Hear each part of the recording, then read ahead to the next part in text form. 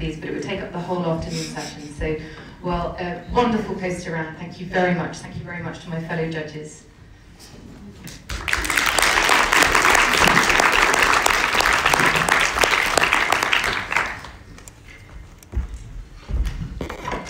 Wonderful. So um, we move now to really think about the role of psychiatry in medicine more widely in Oxford, um, both in terms of education but also um, within the local NHS and research. And it's a great privilege really to be standing here as someone who trains here and wouldn't be standing here had I not met many of you actually here in the audience who very much influenced the decisions I subsequently made.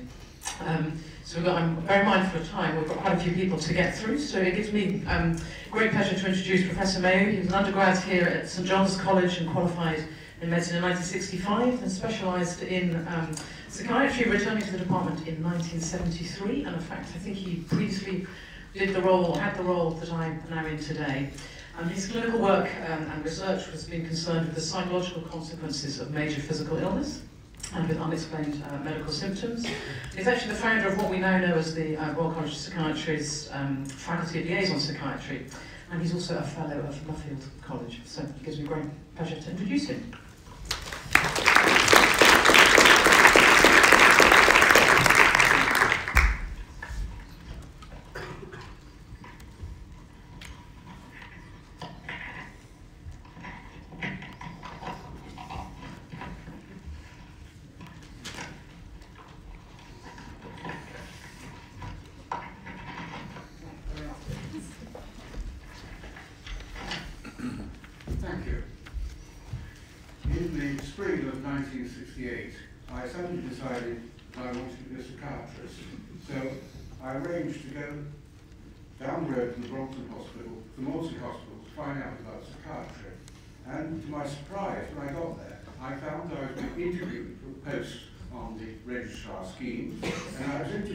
Sub-dean, Dr. Gelder, and we talked about medicine and psychiatry.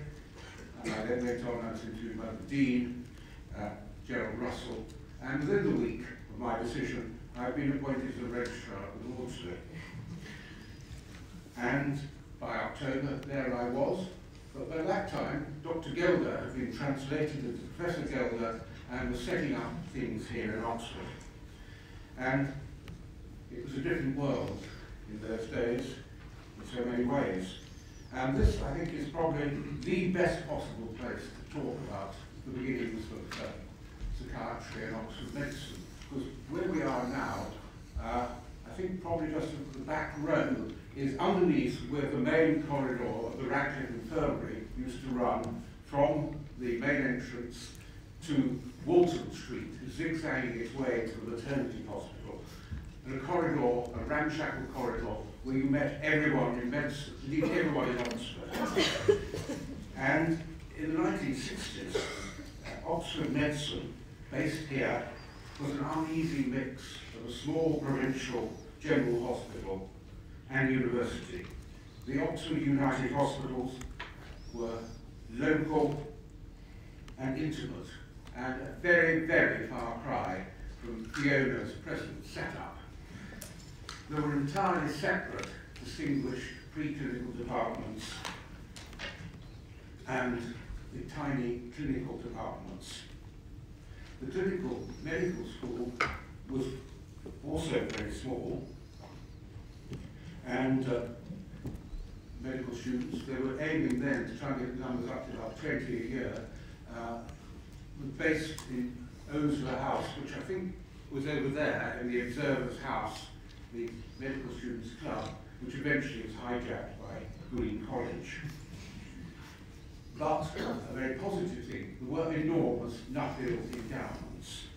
But, despite the great potential, there was no agreed strategy of what to do. And against this background, I want to talk about the history of psychiatry here, and it's, I think, a story of the uh, right time, right place, right person.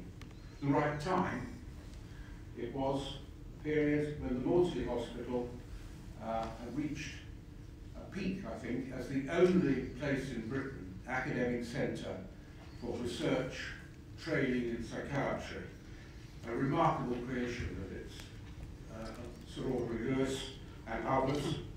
And when I got there, having worked at Hammersmith and the Brompton Hospital, I was enormously impressed with the Maudsley Hospital in those days.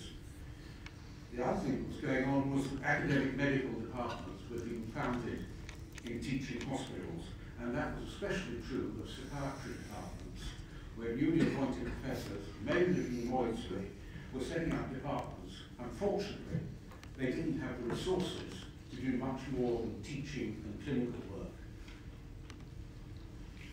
So Oxford was the right place. And it was the right place because the Regius Professor of the day, Sir George Pickering, set out to overcome the indecision and create a new sort of medical school in which research would be fundamental. He wanted to exploit the very considerable assets that were here. And this included the prospect of a brand new hospital the Manor House site in Headington. And in fact, planning of the maternity hospital, the first bit, began in 1968. Sir George saw psychiatry as a priority, joined the five Nuffield departments of medicine and so on, and eventually obtained funding from the W.A. Handley Trust for the chair. And he was able to offer a temporary building and a staffing equivalent to the five Nuffield professorial departments. And then the right person. Michael Gelder was a Maudsley and Institute psychiatry consultant, I think of outstanding intellect, clarity of thought, and drive, together with some remarkable organisational skills. He'd been very much involved in MRC-funded pioneering research on behavioural treatment. He certainly shared with the Maudsley view that psychiatry is an integral part of medical sciences, and also what was nearly as usual at that time, he was convinced of the importance of clinical psychology as collaborators. Uh, Michael was, many people here recall, was uh, not a man of small talk when he was about the department. He was fairly chilly, and indeed some found him uh, intimidating. And I used to say about him, if Michael has a heart, it's in the right place. and it was. And I have to say uh, that there was, of course, the other Michael, who we didn't see walking around the departments, was a man who amongst his friends at his Italian class at Merton College uh, was entertaining, relaxed, interesting, a different person. And I have, in the last 15 years of retirement, enjoyed many lunches with Michael, I found him extremely agreeable. Indeed, I found myself looking forward to lunching with him uh, in those days. And I think it's um, sad that the outstanding psychiatrist of generation never received the public recognition he deserved. As the right person, one should also say that Michael was very good at attracting the right people. So it is one person who managed to gather around others who were able to create the department we have today. I'm not sure what package of support Michael extracted from Oxford University. Certainly it included priority in building, in getting a new building. He made himself um, clear, very aware of the great unexploited potential of Oxford medicine. But he also knew that the two psychiatric hospitals were not distinguished did not communicate, and had some pretty significant personality issues.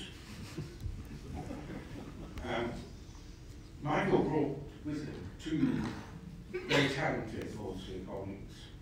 Dennis Gath, who arrived on the first day, was highly gregarious, former Oxford clinical student, and was able to bring invaluable local knowledge and contacts.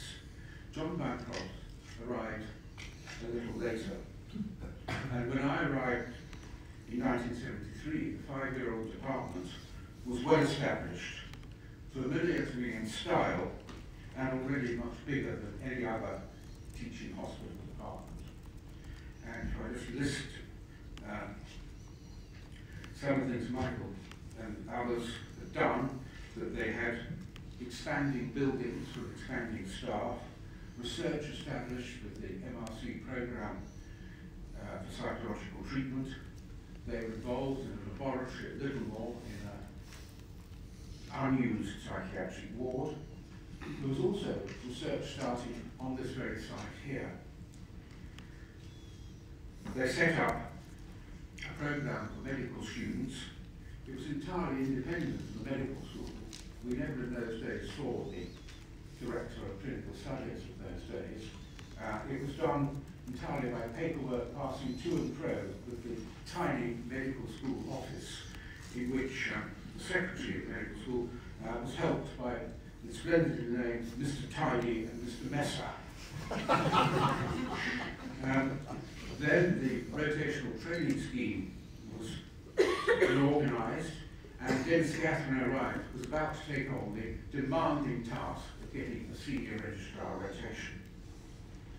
There was a clinical service at Warneford Hospital, but also there was a very special effort to establish a clinical service led by John Bancroft to work here in the outpatient department of Infirmary and consultation. I want to come back to that. And finally, Michael established uh, lots of working relationships locally. Within the NHS, there was the really adaptable and remarkable uh, medical director of the Regional Health Authority, Rosemary Rue, who I think was enormously helpful. And she was the creator of uh, schemes for uh, married women doctors, which I think have been, well, very considerable success. They were enormously helpful to us. Uh, Michael was involved with the MRC, and then with Wellcome, and especially after 1986, where Wellcome managed to become much wealthier than it had been previously by its activities on the stock market. Uh, Michael was involved there, so he, though he always seemed to be in the department, rushing through one's door, taking door hinges, he in fact was in London round about establishing all sorts of working relationships. I want to say just a bit about psychiatry and Oxford medicine. I think two themes there really. Psychiatry is a, as a medical subject, collaborative research by many or most members of the department. Um, if you uh, look at the first edition of the Oxford Text of Psychiatry, published in 93, which Michael, Dennis and I wrote entirely, it does, I think, give a view, it's a Maudsley view, it's an Oxford view of what psychiatry should be about.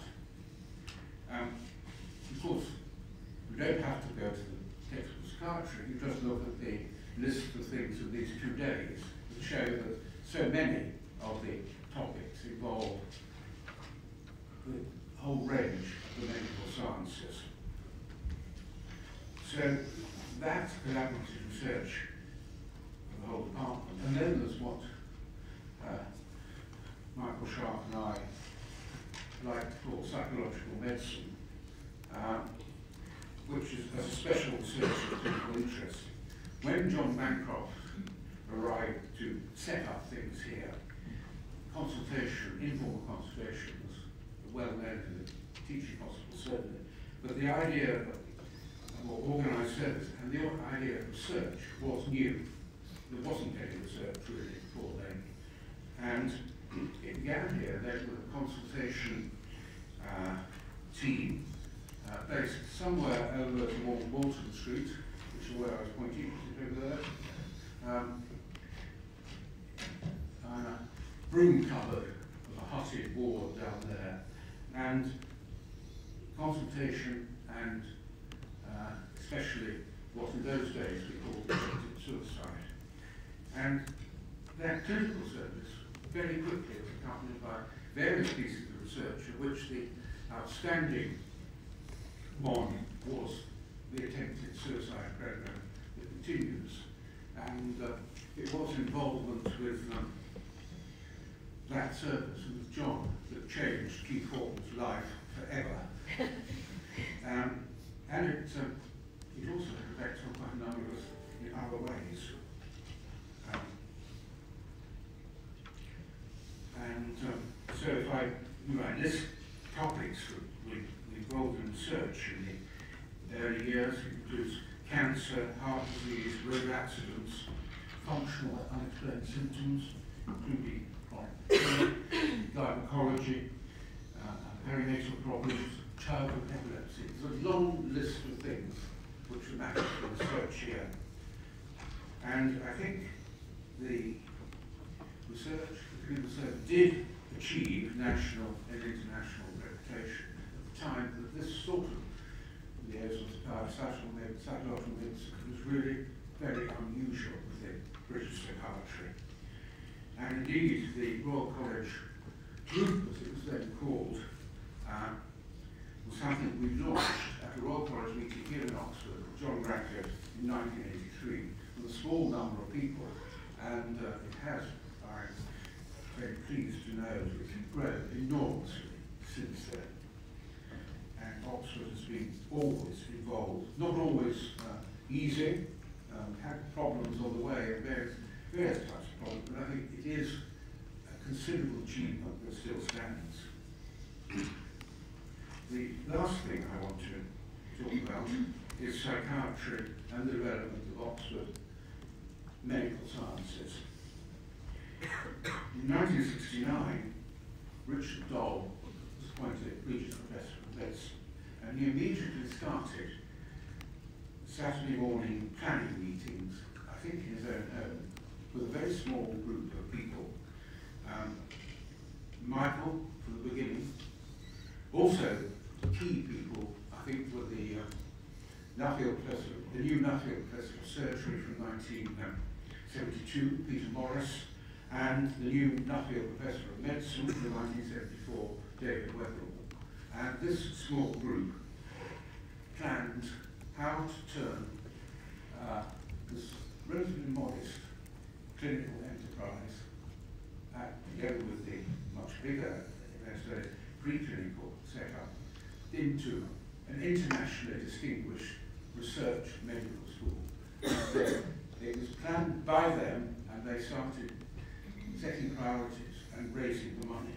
I think probably the chair of pediatrics was the first outcome, but importantly for us, in 1972 was the, the Rhodes Professor of Clinical Pharmacology, and David Graham Smith was appointed, and the collaboration between psychiatry and clinical pharmacology is one that, of course, has been enormously fruitful.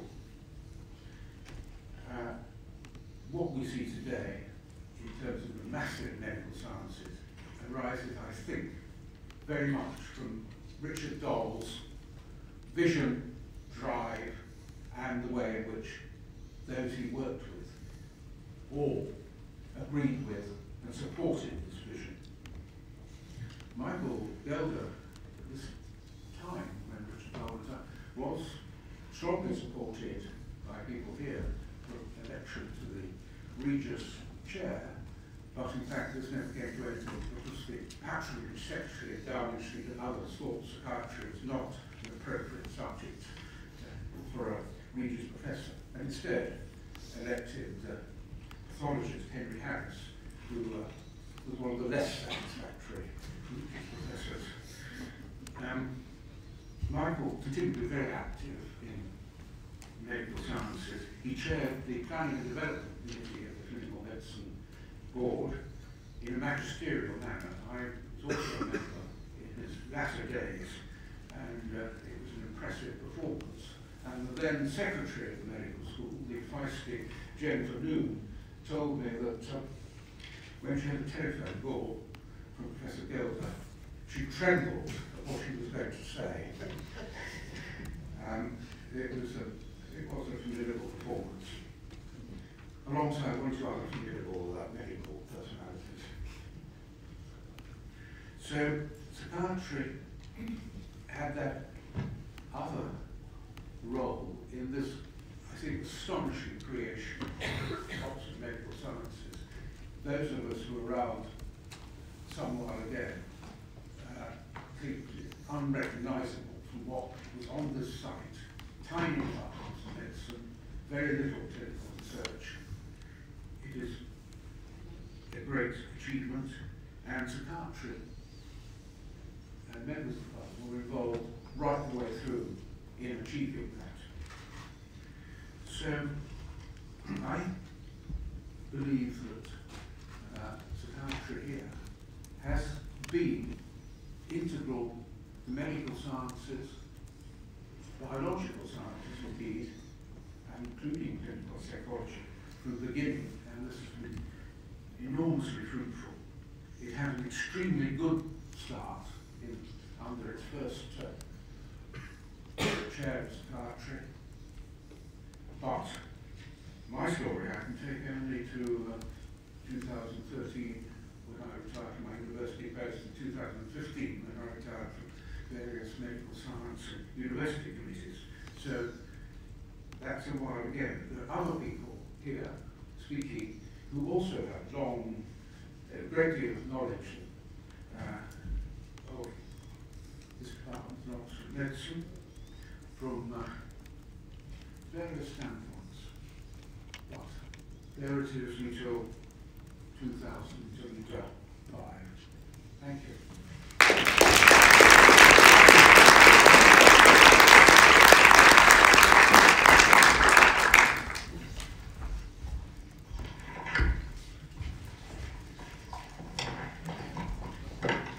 Thank you ever so much. And um, we're going to move on to um, Professor Sharpe, who's going to bring us a bit more up to date. Um, he was also a clinical tutor and previously um, in the role that I'm um, in now. He studied uh, experimental psychology at Corpus Christi College here before uh, studying medicine in Cambridge. Then moved to Edinburgh for a while to a personal chair before returning to Oxford. And he is the Professor of Psychological Medicine here in the department the Trust Lead for Psychological Medicine at Oxford University Hospitals um, Trust. And his research is uh, aims to understand the psychological aspects of medical conditions. Thank you Thank you very much. I'm struggling with this. Uh,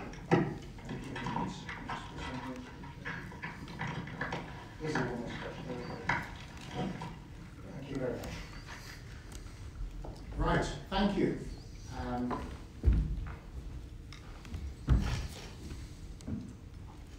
so I'm going to be old-fashioned and uh, use some PowerPoint slides. Uh, And I want to uh, build on and elaborate what Richard Mayou was saying, and I want to focus more on what psychiatry, and psychology, has done within Oxford medicine, as in medicine practiced in the hospitals. Um, I want to just put it in context. Let's, it's only a 50th anniversary, let's put it in context. This is Oxford. The medical school, if you believe the university website, is not only 900 but nearly, um, nearly 1,000 years old.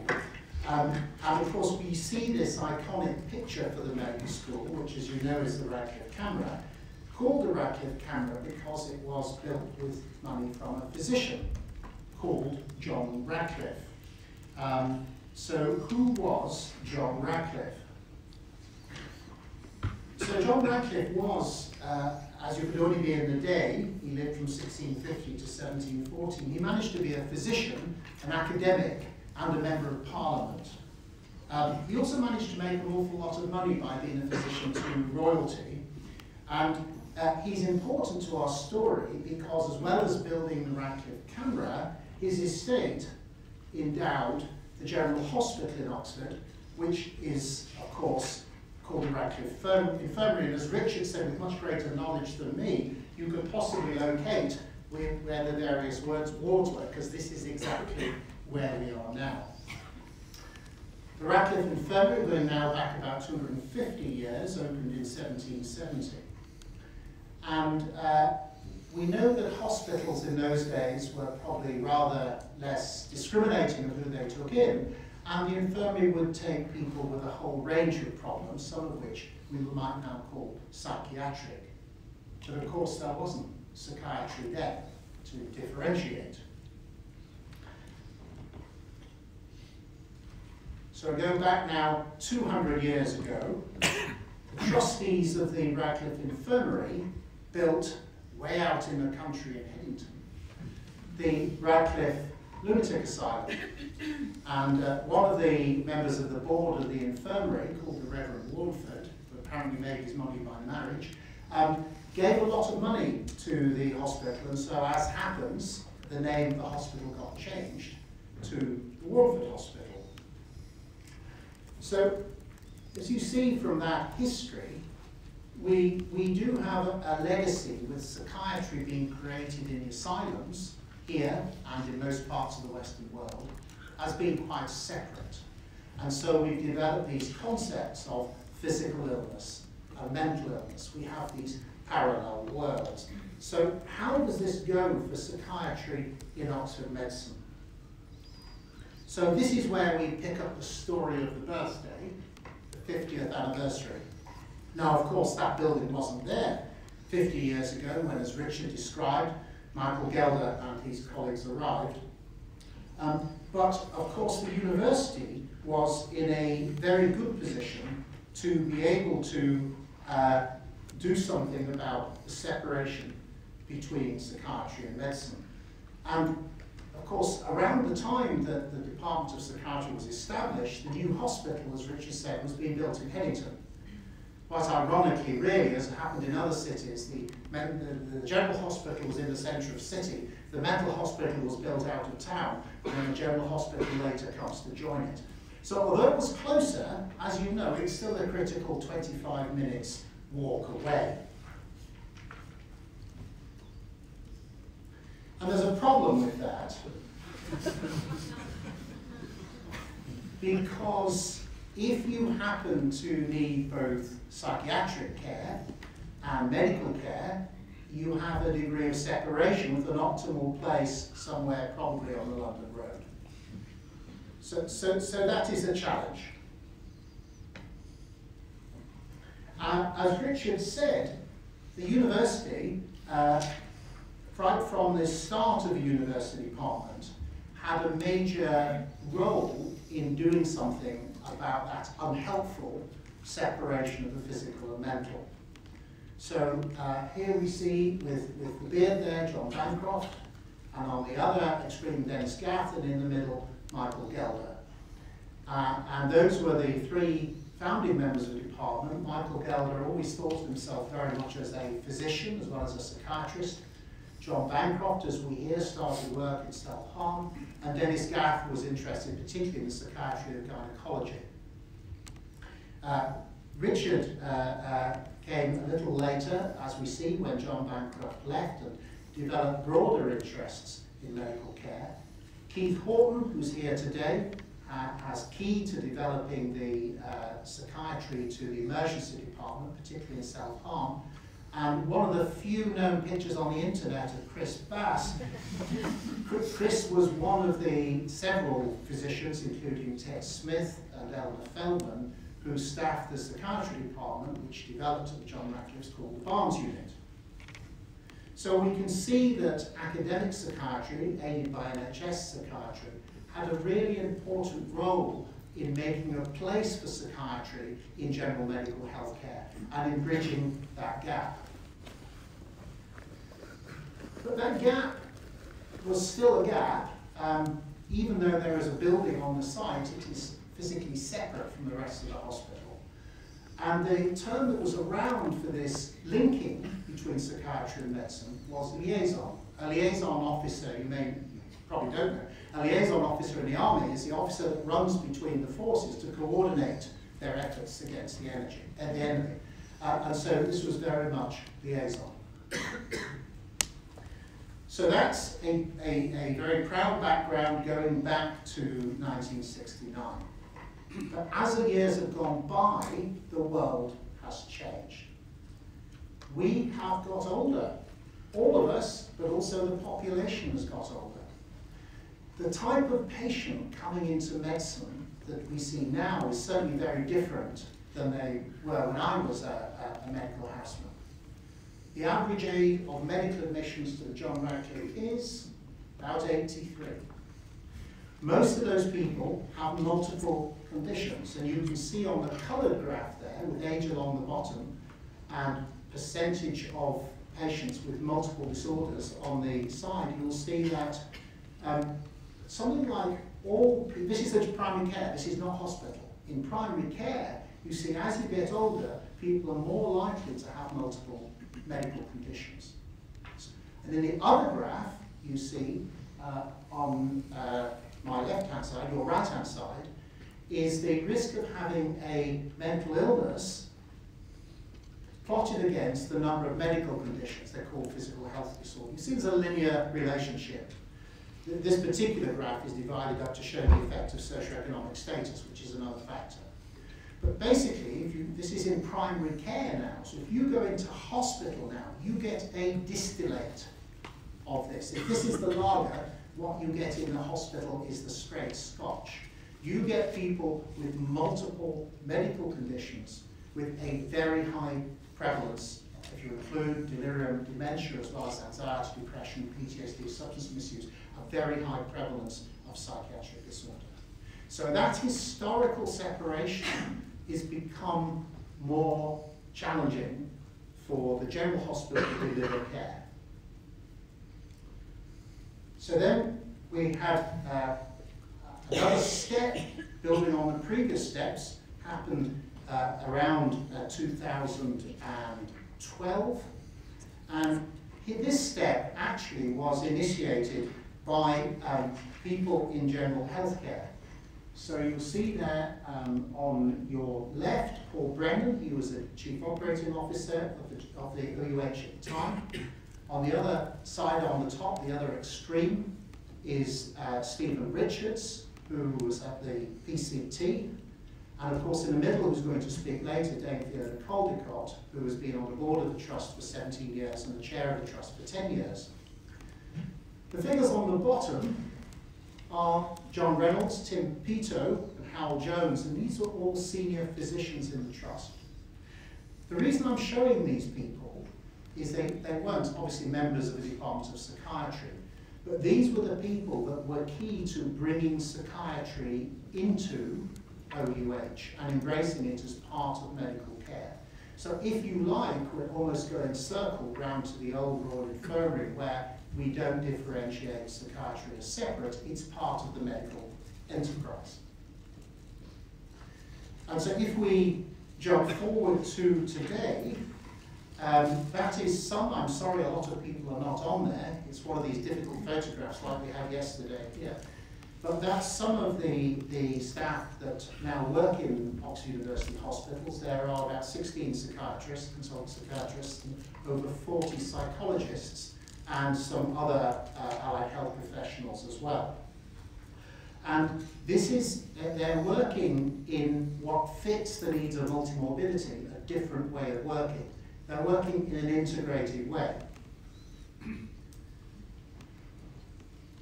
Pit crew. Probably many of you are motorsport fanatics. This is the crew that when the racing car comes into the pits, that is tyres changed, possibly to be refueled, they're the guys that do it. Do you know how quickly they can change the tyres on a car now? Two seconds. Two seconds. So the point about this, I could use this as an analogy, it isn't original at all, Gawande used this, as a metaphor for modern medicine. It's fast. You have to deal with complicated stuff, and you have to work as a team. These guys are exquisitely practiced at working a team. They all have very specific roles. One guy does the fuel, one guy does the left-hand front wheel, one guy does the right-hand front wheel. They're very specific roles working together. That's what modern acute medicine is. It's team-based. So if you want to alter the care of patients, you have to be on the team. There are a lot of teams uh, in OUH. Uh, this is part of the continually changing uh, diagram of the hospital. But we have psychiatrists or psychologists in about two-thirds to three-quarters of those teams. So we don't have a separate group of psychiatrists and psychologists who go and visit the teams.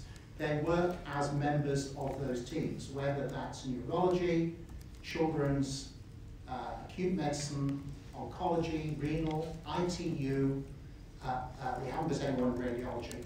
Um, but there's, there's someone in nearly all the teams. So that is the new approach.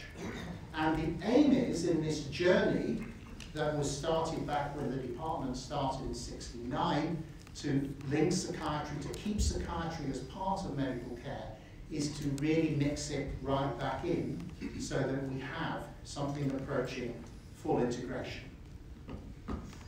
Uh, the Trust um, dignified these efforts last year uh, at the Oxford Psychological Medicine Centre, and this is important, and John Guinness very kindly came along to the opening day, Fiona opened it. Uh, this is important because it brings together psychiatry and psychology service with the research endeavour we're going to hear more about, and with teaching, which we're going to hear more about. So, um, just to finish, uh, I think this integration that OUH has achieved, building on the early days of the department, has been very successful in building care around the patient and really giving parity of esteem for their mental health needs as well as their physical health needs in a real way, not just a token way. I think, Dave Kernan might say more about this, it's changed how people in the hospital think about mentally ill people. And I think from the point of the university department, it's created great opportunities for teaching and for research that we'll hear more about. And this success has been acknowledged by the Royal College, the King's Fund, the Care Quality Commission and NHS England. Thank you very much.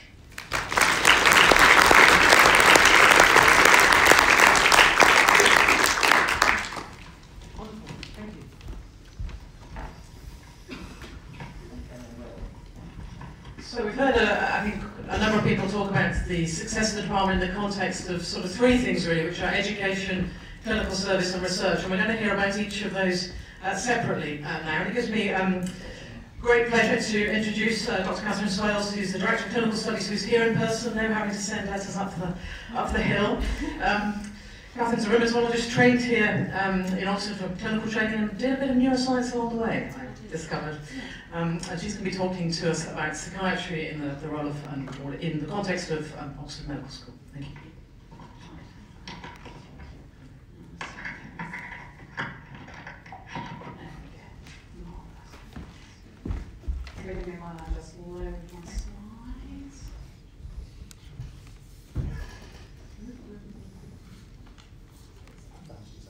Marvellous. Um, well, it is great to be here, and uh, I'm sorry to hear that you only used to send paperwork to the DCS as opposed to invite them to what a wonderful couple of days. And I'm sorry that I couldn't be here yesterday, but it is wonderful to be here this afternoon. And I feel a complete fraud if I can start with a disclaimer that is that. Um, not because I'm fessing up to some sort of quasi-imposter syndrome, although I do have that too, um, but because I'm speaking really on behalf of Kate's success and the medical school owes a huge amount both to her and to several people sitting in this room and people out uh, in, the, in the beyond about how well psychiatry is taught within the medical school and its primacy. And you will see some of the uh, influence and impact of that culture within the school uh, in later slides. Um, I don't need to explain to this audience why there is a need to teach uh, psychiatry to our medical students, but it does speak to the history that Richard outlined and then the developments um, of the input in psychiatry medicine as a unified subject that Michael's alluded to, because of all medical conditions, psychiatric ones are tipping the top of the post. Um, with uh, the global burden of mental disorder increasing. Um, I've only got data up to 2010, but I suspect if you look beyond that, it's increasing even further. uh, and suicide pieces in the audience somewhere. I saw him earlier and lovely it was to see him again. Um, is responsible for a million deaths globally each year. So it's absolutely vital that our students are well grounded and experienced in the nature, etiology and treatment of these conditions. Um, but really until they meet fifth year, they're not. Those of you who aren't familiar with Oxford training, if I, I may, the rest of you who know about this can just sort of doze gently, but just to tell you about Oxford training. So it remains a very classic two times three year course, with the first three years being heavily biomedical science related. Now, of course, neurosciences plays a big part in that, and there will be elements of psychiatry and psychology embedded within that, but it's not demarcated as a separate subject. At the end of those three years, which is spent very much down here and in South Parks Road, they come up to the hill for their clinical training, which takes a further three years. The fourth and sixth years are general medicine, general surgery, and some special study modules and things around that ill. But it's really only the fifth year where psychiatry takes its strength. But that is to, not to say that it doesn't appear in fourth year. In Fourth year, because of precisely what Michael has alluded to, the students do have increasing exposure to psychiatric and psychological morbidity within the general medical but they don't have specific necessary teaching uh, within that context. So when do they get it? Well, they wait until fifth year, but then in fifth year they have a dedicated standalone eight-week course. Um, and we've always given a sort of primacy to psychiatry and to a number of other medical disciplines in that way in fifth year. We haven't threaded it through the whole of the three years, and you can argue the toss about whether pedagogically that's the right thing to do. I think our view remains that if you circumscribe subspecialities and assess them as they go along, students get a, not only a breadth, but a depth of understanding, which I think is probably not possible if you try and do a more thematic approach. So, during fifth year, the students spend eight weeks in psychiatry. Our firms are growing. It's currently 27 or 28. Um, but there is some variability in numbers. Psychiatry, for example, hosts a number of elective students because its success is well known. So students will ask to come in, and Kate will accept them if there is room to fit amongst, amongst the other students. One of the great things about the eight-week attachment is that students are embedded for four weeks in two separate clinical attachments. They do have some choice in that. There's a ghastly thing called the student medical student ballot, which is fiercely contested amongst the students and we try to ignore it. Um, but they are in some way able to specify either location for those who have caring responsibilities and need to be close to the city, for example, or subspeciality. So if people are particularly interested in child adolescent mental services, for example, or psychiatric, they may well be able to pick those. The fabulous thing about the, the breadth of opportunity is that each consultant might have only one or two students. And that is a ratio that is unparalleled anywhere in the, in the rest of the, in the medical training. General medical firms are usually seven or eight, possibly more. To have one to one, let alone one to two, is totally exceptional.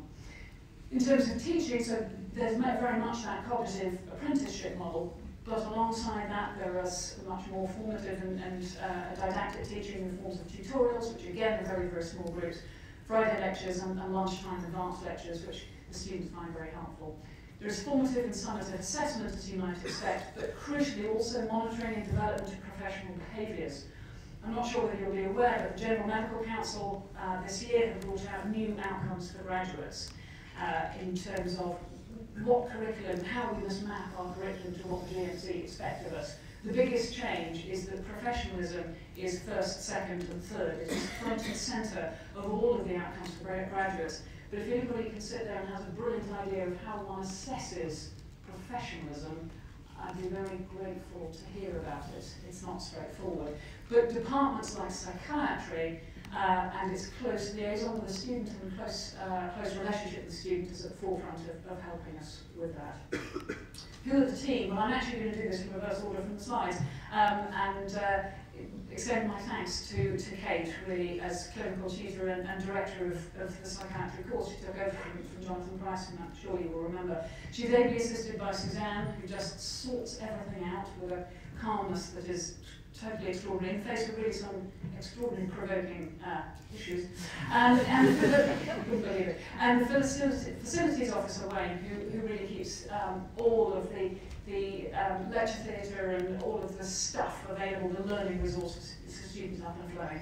They are ably assisted by countless consultants, psychiatrists, plus the trainees and specialty doctors who have their own roles to play. And sometimes it's actually the trainees that you remember most. Mina Frizzell uh, is in the audience today. She was my reg when I was a student, um, although I also remember Rupert McShane. Sorry, Nina.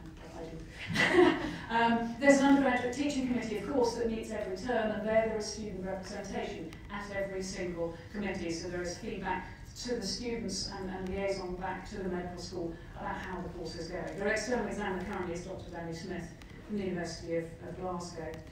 So how is this run? Um, well, it's done by a collaboration, particularly what Richard had alluded to was developing, and then Michael uh, continued uh, just a few moments ago. So a liaison very closely between the University Department of Psychiatry and the local Mental Health NHS Trust, and that partnership is absolutely crucial to the quality of the teaching, and we must do everything to preserve that. Obviously, the main partner would, is the Oxford Health NHS Foundation Trust, OHFT, that has 20 to 23 placements in, in Oxford and Bucks. Milton Keynes, although doesn't sort of fit the geography for our purposes, does fit within training, and, and that's where they go for forensic psychiatry, which remains one of the most popular placements.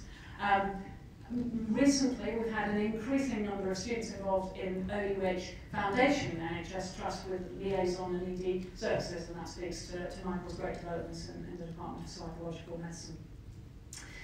So this is all very well, the course is up and running and runs splendidly, but how does one know that it runs splendidly and what quality assurance measures are in place? And more importantly what feedback do we get? But what matters? What matters in terms of feedback? Is it how the students feel? Is it the numbers who become psychiatrists? Is it the numbers who win prizes etc well it doesn't matter which metric matters to you. I have to say psychiatry is probably at the top of each and every one of them so the teaching assessment is very well received every, ter every term um, at Clinical Tutors Group.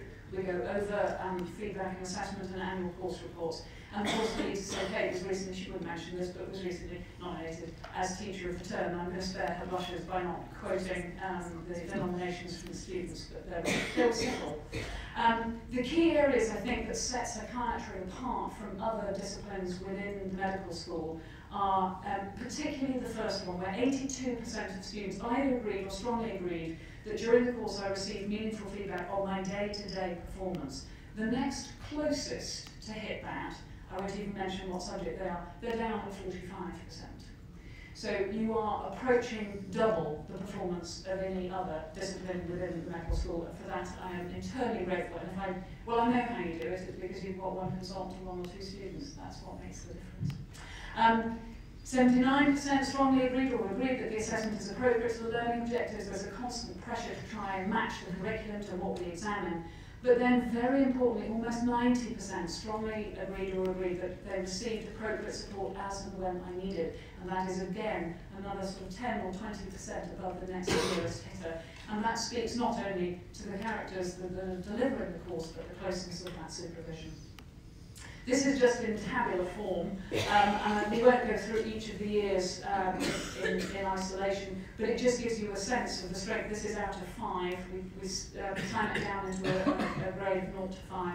And you can see that you are comfortably full or above across the years reliably, with occasional blips that vary according, I think, more to student cohorts than actually anything within, within the uh, training environment. And the placement feedback is also strong and identical. It's always slightly worrying when you're running a course or trying to oversee a course that there's one place that just isn't managing quite as well as the others, and how do you handle that? Is it a staffing? Is it resource? Is it the subject itself? What, what's going wrong in that area? And yet, across all of the placements that we have in psychiatry, we don't need to worry about any of them, which makes me breathe a sigh of relief. Student quotes. Um, I'm not going to read them out to you because I think you can all read them yourself. Um, but I do think um, I've never felt so welcome before. I think has got to be one of the take-home messages. It's very hard for students sometimes in a clinically pressured environment to feel like part of the team. We are struggling, Michael alluded to the increasing age of our inpatient population. Our substrate for teaching is changing. Our patients are older, they don't stay as long, they're multi-morbid and frail, and coming, somebody coming in with purely ischemic heart disease or purely schizophrenia or purely something upon which you can teach them with that sort of clarity is very difficult. The staff looking after them are stressed and pushed, and to give students a home despite that, I think is enormously valuable. Um, it's also interesting that I think you're the only department that contacts students about emotional resilience. The only other place that I think does it with any formal mechanism is the emergency department, because of course the, type of things that they will see there with trauma calls and so on and so forth. But that's a different form of emotional resilience, as I think you'll appreciate. So the students love it. Um, so the students love it, the feedback is excellent, the placements are good. What about at a national, uh, at a national level? Well, there's always complaint that there aren't enough psychiatrists but it can't be levelled at Oxford. This is the rate of national recruitment. Admittedly, for the last six years, we haven't got up-to-date data yet. Uh, and Oxford is right at the top in pecking order with Keele and way, way at the head of many of the other research-intensive universities. Just put a little match down there. it's at the bottom end uh, of the same spectrum. I don't know why that is I'm rather glad it is. So don't, live stream that bit. Um, so in terms of national recruitment, we do far, far better than we should do for the size of our school. Also bear in mind we're a very small school, so we punch well above weight. What about confidence? Earlier on, before, the, before students have decided even to go into to psychiatry specialist training, in F1 confidence, they're confident not only in a chronic in an acute setting, but also in management of chronic mental health conditions. So they're skewed definitely towards the agree and, and, and away from the disagree, um, which is really, really encouraging. I think um, most of our students are quite comfortable dealing with acute physical illness because they've lot of time on taking ED, but seeing acute psychiatric um, or other mental health conditions, I think, has scared them historically, but that, that time is changing. We've gone, oh Max, I've deleted you. Well, I haven't deleted you. Do you know how I go back a slide, by any chance? Go the other way. Oh, like that. There we go. There we are, Max. I did promise. So, um, in terms of national awards, Um, Max won the uh, Royal College of Psychiatry Medical Student of the Year in um, 2017, about which we were absolutely delighted, and he was a very worthy recipient. But, you know, a one out of 150, 154, 156 isn't, isn't that much to sing about. But when it's also followed up by six Royal Colleges um, Psychiatry Foundation Fellowships, a Pathfinder Award, and four um, academic foundation placements within psychiatry, then we're starting to get many swallows making a summer. And uh, psychiatry is one of those departments that just feeds into the academic, clinical academic pathway very successfully. So is it all good news? Um, well, no. There are challenges. Uh, there are challenges currently and, and challenges ahead. And I think the most important thing is trying to maintain our status now in the changing and challenging environment is going to be difficult. It's not only the enthusiasm and the skills of the tutors who run the psychiatry course, but it is the low ratios of, of staff and student numbers, and that makes a huge difference. The school may be expanding to 100 students per year, even 200. Medical Sciences Division making a real push to expand us up to 200. Um, and in that environment, maintaining outstanding and spacious placements, where students are still one-on-one or two-on-one with a consultant, as opposed to four or five, it just is going to become increasingly difficult. There's also a flavour that trainees are also somewhat less inclined to teach um, NHS trainees would rely on core, core trainings and then later speciality trainings, often cite service pressures and a slight lack of support from their clinical directors. There is a sense that you should be in clinics seeing the same number of patients and clinic lists won't be cut, allowing for teaching commitments and so on and so forth. Uh, and that's a problem across the board. I think we all struggle with that, um, but it's having its impact in, in psychiatry as well. From an academic perspective, it's lovely to have Chris Pugh here from, from Lukas, Often academic trainees will step in and will do teaching. It's part of their ACF or, or CL role. Um, but understandably, they will also cite research pressures and, and focus on publication and grant success. And that sometimes the teaching can start to, to nudge out those other, those other foci, and and that remains a problem. So what are the solutions? Well, um, I only pose one or two, and if you have any others, then do please either let me or Kate know. I think one of the most useful things that we can do, and I'm grateful to Kate for piloting something that we hope to roll out across the Trust, is actually setting up and updating service level agreements for a commitment from the Trust to deliver the teaching that the medical school requires. So much of this is done on goodwill. So much of this is done on, well, I'll stay late, or I'll just overbook, or I'll do, and actually sometimes money does speak and we need much, much more visible remuneration to clinical directors and to the divisions so that they recognise um, the, the commit, teaching commitment that, that their staff has. There is also buy potential to buy out trainees' time either from the deanery and form clinical teaching fellows. Something along those lines is going to happen with general practice to ring fence teaching time for GP trainees. Um, and I'm in dialogue with Chris and Denise Best at UCAGS about sharing some funding um, between the medical school and, and UCAS for, for some of the academic trainees and buying out some time from the ACS and ACLs to ring fence around, around teaching. If any of you have any other ideas, then I would be only too grateful to hear them and you can by, by any means email me uh, or speak to Kate. And thank you very much for having me and Kate and all of your team, thank you very much for running an outstanding course. Thank you.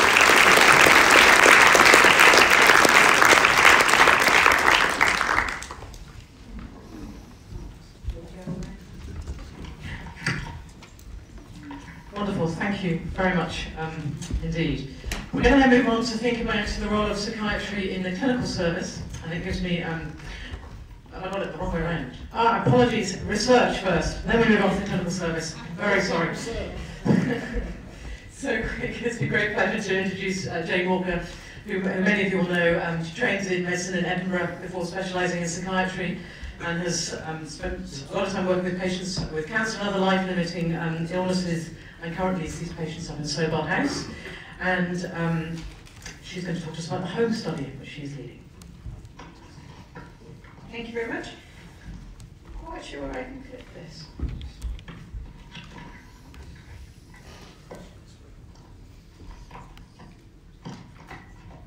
Okay, does that work? Yeah. Okay, so thank you very much. Good afternoon, everybody. So I'm going to talk about an example of some collaborative research between Oxford Psychiatry and Oxford Medicine. And as Kate said, I'm going to talk to you about something called the home study. And um, I could let you spend the next 10 minutes or so working out what home stands for, but I'll put you out of your misery right now. It doesn't stand for anything. it just means home. So the home study is a clinical trial that we're running um, in the Department of Psychiatry at the moment. And it's a randomised trial with the aim of evaluating a new way of delivering psychiatry in general hospitals. So hospitals like the John Radcliffe here in Oxford. You've already heard from at least two of my colleagues that people who are in general hospitals these days tend to be older. So this study is focusing on older medical inpatients. And by older, I'm talking about people who are 65 and over. Now, in this day and age, we know that 65 is actually relatively young. But that's still the way that a lot of our services are set up. And um, we're funded by NIHR for this study.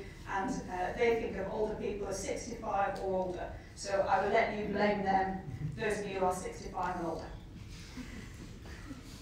If you go to the John Radcliffe Hospital, does anybody here, how many people here work in the John Radcliffe or have been there recently? Quite a few people. If you go to the John Radcliffe and you go into one of our acute medical wards, so that's where people are admitted as an emergency, you'll see that the vast majority of people are aged well over 65.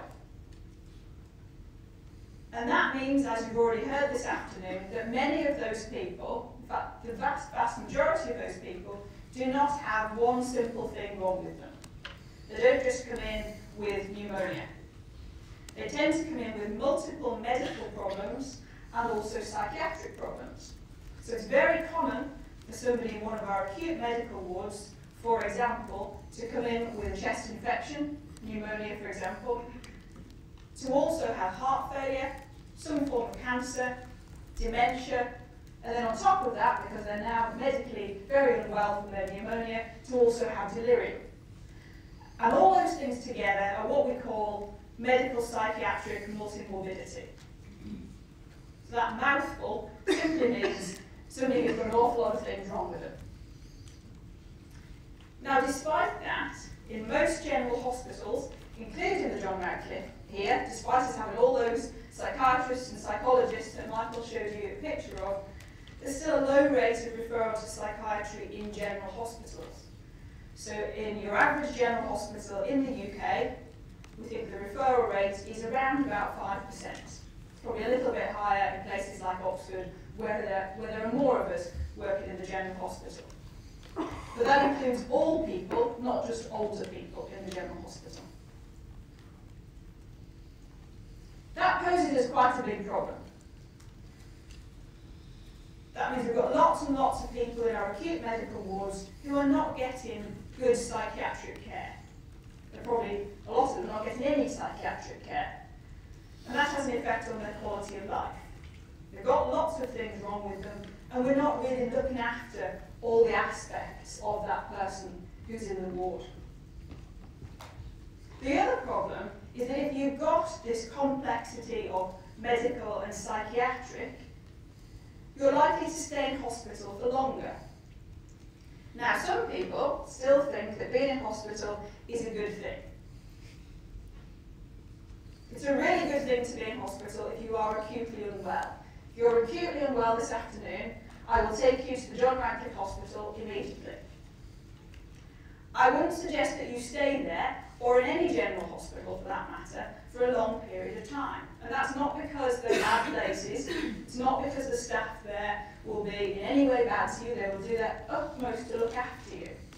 But being in hospital for a long period of time, particularly if you're an older person, means that you lose your independence. You're much less likely to go home and to be able to do the things that you used to do independently. You're also fairly likely to pick up some other illnesses, so an acquired pneumonia, for example, whilst you're in the hospital. And being in hospital, having other people look after you and do things for you all the time, and you losing your independence, often losing your physical muscle mass, means that as an older person, you can get pretty demoralised. You can get worried about not being able to go home, and at times you can get. So long hospital stays are not good for any of us, but particularly for older people. And of course they're not good for our hospitals.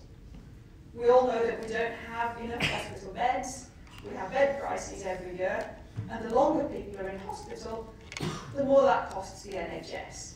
And unfortunately, the NHS doesn't have all the money that we need to have. So this is a big problem, both for patients and for the NHS. And one thing that contributes to these longer hospital stays is people having this complex medical psychiatric multimorbidity. Lots of things wrong with them. What can we do about that? Well, one thing that we can do is think about the way that we deliver psychiatry in general hospitals.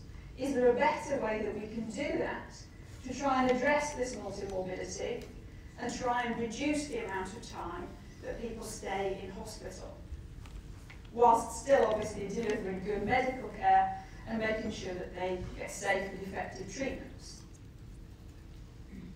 So I told you that the home study was aiming to evaluate a new way of delivering uh, psychiatry in general hospitals, and this is what it is. It's called proactive psychological medicine.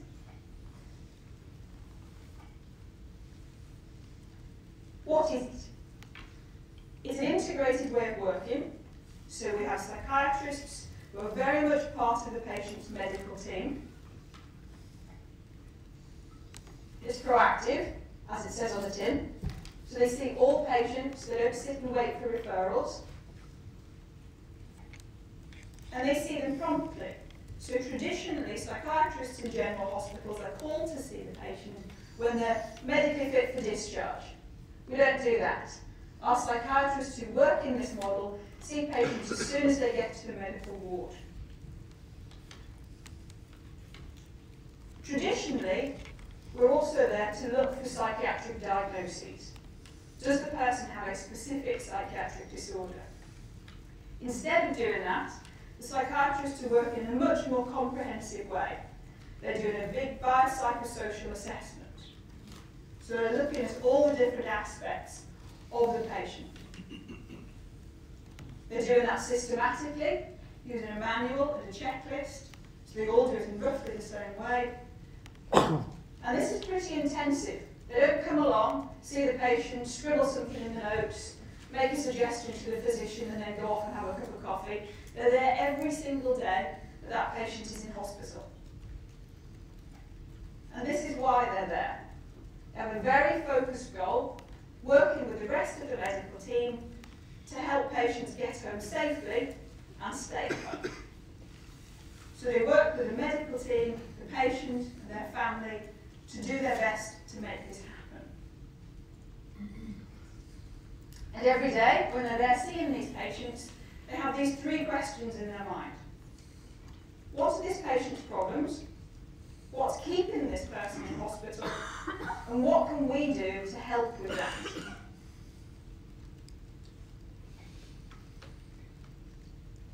So going back to the study that we're doing, I'm sure you know that a clinical trial is a comparison. So here we're comparing two different ways of looking after all the people in the general hospital to see if we can improve how quickly they go home. We're comparing usual care with usual care plus this new approach.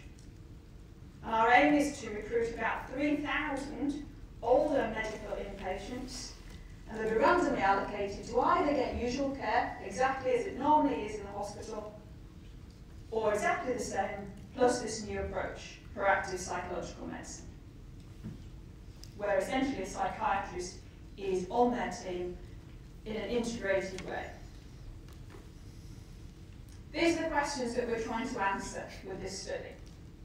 So if we compare it with usual care, does this new approach, proactive psychological medicine, reduce the time that people spend in hospital in the month from, from the time that they start taking part in the study? Does it improve their quality of life? Does it improve things like their experience of their hospital stay? And is it cost effective? So how are we doing with this? 3,000 patients sounds like an awful lot, doesn't it? We're recruiting participants here in Oxford at the John Radcliffe. We have a team also at Addenbrooke's in Cambridge and in Exeter at the Royal Devon and Exeter Hospital. And so far, I'm very pleased to tell you, as of last week, we've recruited more than a thousand patients to take part in this study.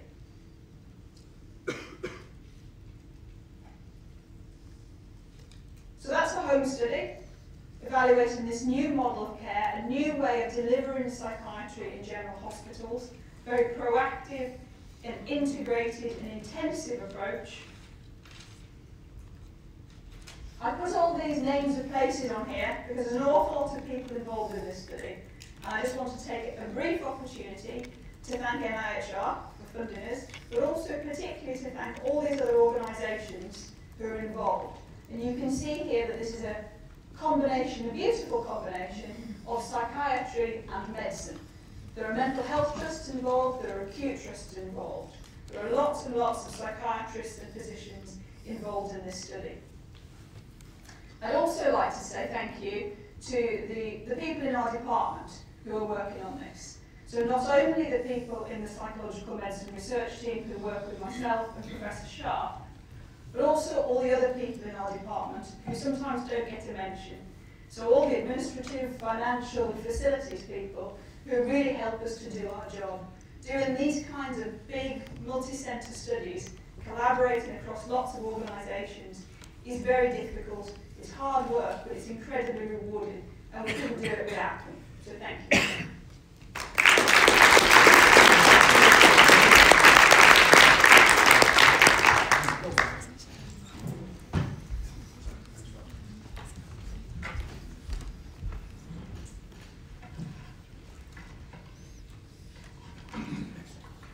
Wonderful, thank ever so much. So I'll get, get, get things in the right order this time, so apologies uh, for that. So we're now going to hear um, a bit about the um, well, psychiatry in the context of um, the general hospital and, and the clinical setting. It gives me enormous pleasure to introduce Dame Fiona Caldicott. Dame Fiona studied medicine here at St Hilda's College and trained as a psychiatrist and a psychotherapist. In fact, the first woman to be president of the Royal College of Psychiatrists and its first woman dean and um, was then uh, the chair of the National Information Governance Board, Health and Social Care, and until 2010 was the principal of Somerville College, and as Michael's already mentioned, has been on the board of OUH for 17 years, is that right? Yes. And, and chair for 10, so it's fantastic that she's, she's here to speak with us today. Well, thank you very much indeed. And there is a disadvantage in speaking at the end of a programme. It's quite a lot of the things that I thought I might say um, have been mentioned already, but I guess I can say this is a a personal reflection on my time in Oxford in different um, uh, activities, and I do appreciate the invitation to come speak at the 50th uh, anniversary of the department, the Academic Department of Psychiatry. Um, rather a lot of years ago, I applied for a position in the Academic Department, and I wasn't shortlisted.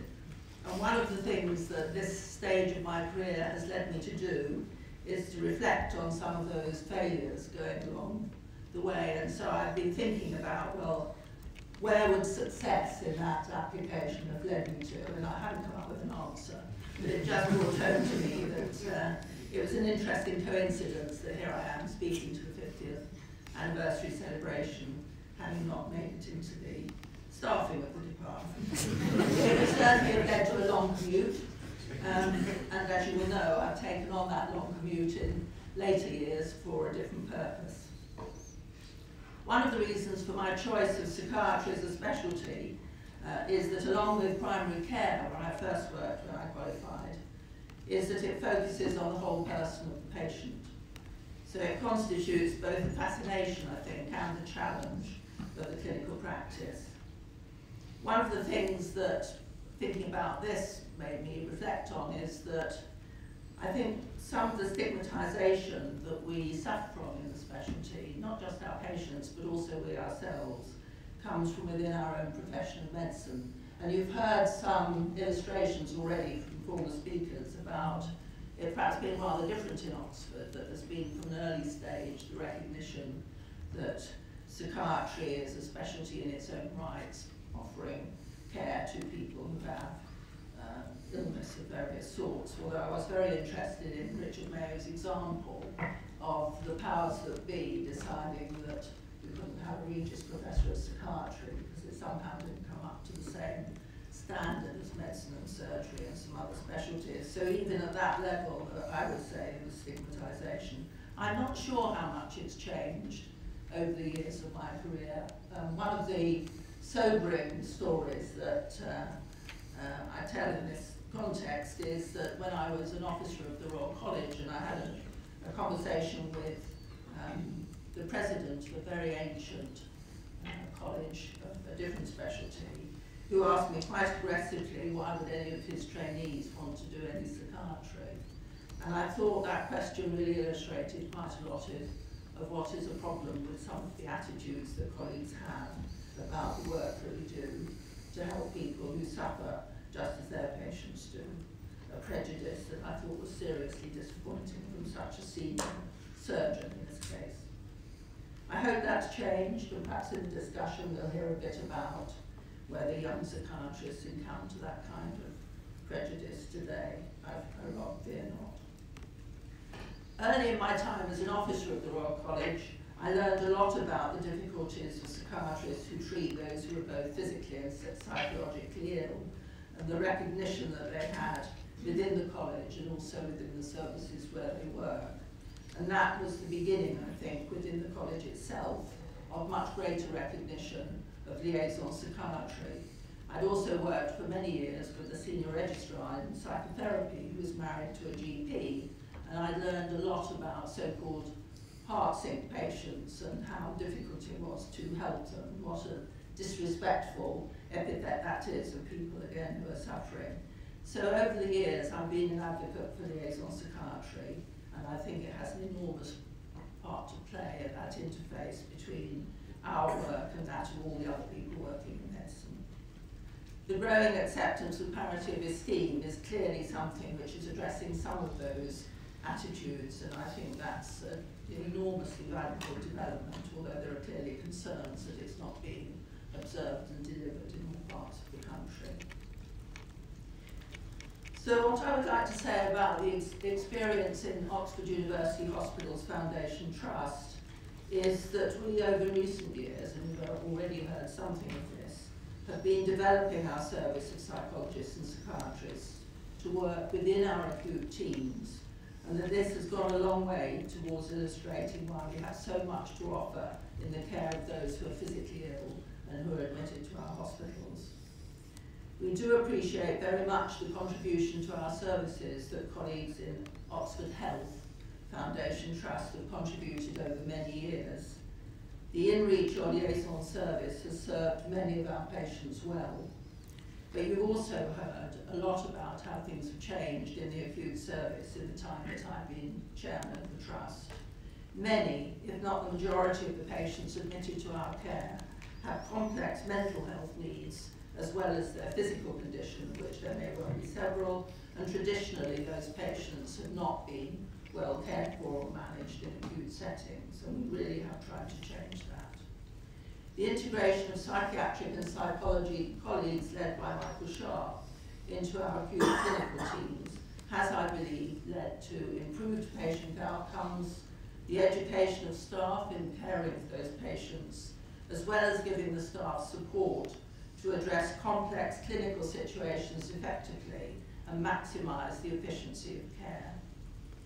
Our staff, who by and large are trained to work in acute care, often lack the skills and confidence to manage the psychological aspects of the clinical presentation of the patient appropriately.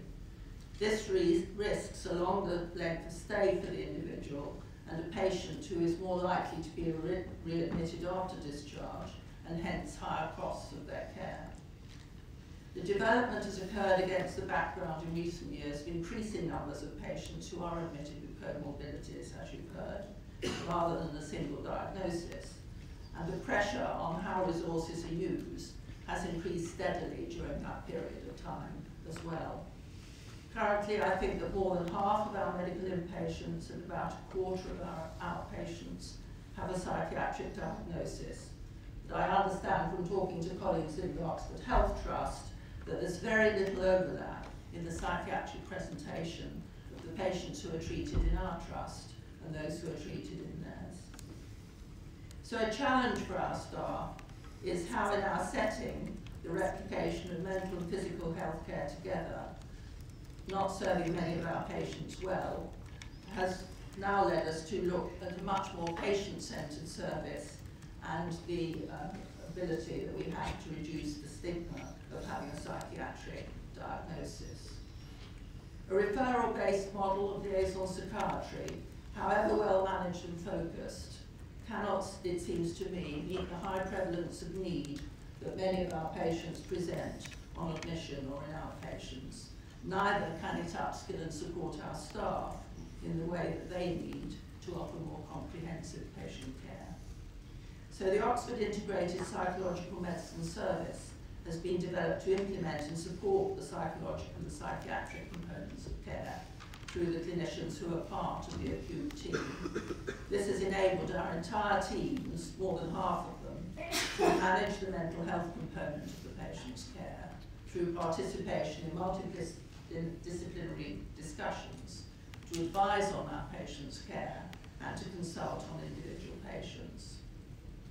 I believe that this has changed the view of psychiatry in the acute service and has meant that our patients are receiving a really enhanced episode of care when they are sick with various uh, morbidities. I've described the success of this approach for patients and staff, and it also enables research into that approach, as you just heard from Jane. The challenge for us now is to replicate this across the entire trust, beyond the services that not only want more from the 50 or so psychiatrists and psychologists who employ in the current services, but those services which do not have access to such clinicians at the moment. We're very proud that the service has won a number of awards from both the college but also internationally in Europe and in the States, and we really want to see it expand so all our services have access to this approach to care and all our patients can benefit from it too.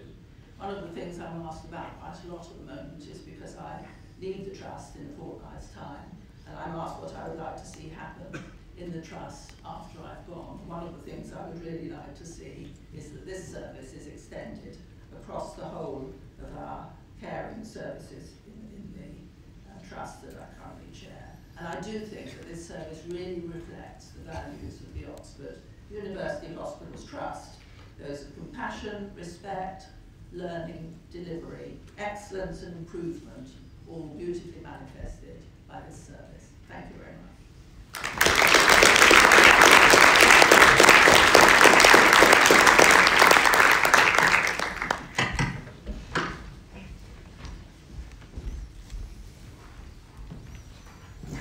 Thank you.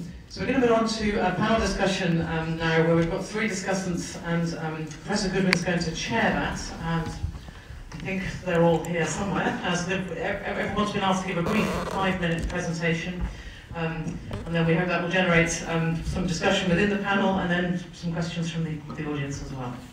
That's great. So the first person I'd like to introduce is um, Professor Lingford-Hughes, who uh, graduated here in Oxford and has been telling me all sorts of horror stories that she's reliving, having come back from London on the train today. I'm sure she'll say a little bit more about, about that. Um, and she heads the academic faculty of the college, so it's great to have you here.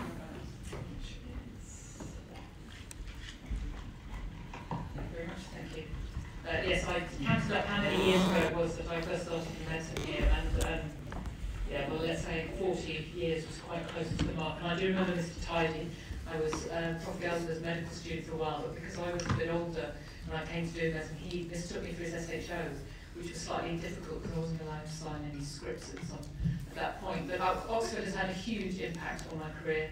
Um, and actually the first time I came across Guy Goodwin, was on the other side of the table at my welcome uh, clinical fellowship interview, which I finally got, got one after my second time of coming. But um, I, Oxford is a very special place and. I also to come back. I haven't quite it back other than for lovely visits like this. So it is great to be celebrating 50 years. Um, I think what we've heard today is the immense excitement around um, psychiatry and mental health more broadly, and the overwhelming number of people who want to be involved in this area of research and activities around it. I think we are facing a time where stigma is probably reducing in the, in the public to some degree, or at least there's a greater understanding, although it is still a fight. I was very sad to see some of the comments in the Sunday Times uh, last weekend talking about I work in addiction, how you know people dependent on opioid painkillers should not utterly inappropriate for them to be sitting next to a heroin addict. I hope that we can address some of this um, stigma further. Um, I have a role, the reason I think I'm here is, is really because I'm chair of the academic faculty and one of the Royal College of Psychiatrists. And one of the things there, of course, is, is encouraging um, people to go into psychiatry, and that's been phenomenally successful. The Choose Psychiatry campaign started with Simon Wessely. So 30% increase in number of people um, going into psychiatry. You've heard about the Pathfinder scheme, that's been immensely successful. I've been involved in the judging panels, and I have to say it's one of the most inspiring couple of days I've, to spend every year. Picking candidates is very hard to pick them. These students coming through are absolutely phenomenal and inspirational. Um, so you've heard about a lot of activity coming through. But there is an element about how it's been really good to bring in other disciplines, but as psychiatrists, we do need to be aware of what is happening in our field. So a few years ago, with uh, the MRC led, but did a review of um, academic training fellowships with NIHR, and it's across all of medicine. So the arrow gives the clue, this is psychiatry here. Um, and this purple bar that's quite big at the end are people doing fellowships, pre-doctoral and doctoral fellowships. Um, and as you see, compared to a lot of disciplines, we're not doing very badly, but compared to some, say, neurology is here, this one here, we're maybe not doing as well as we should.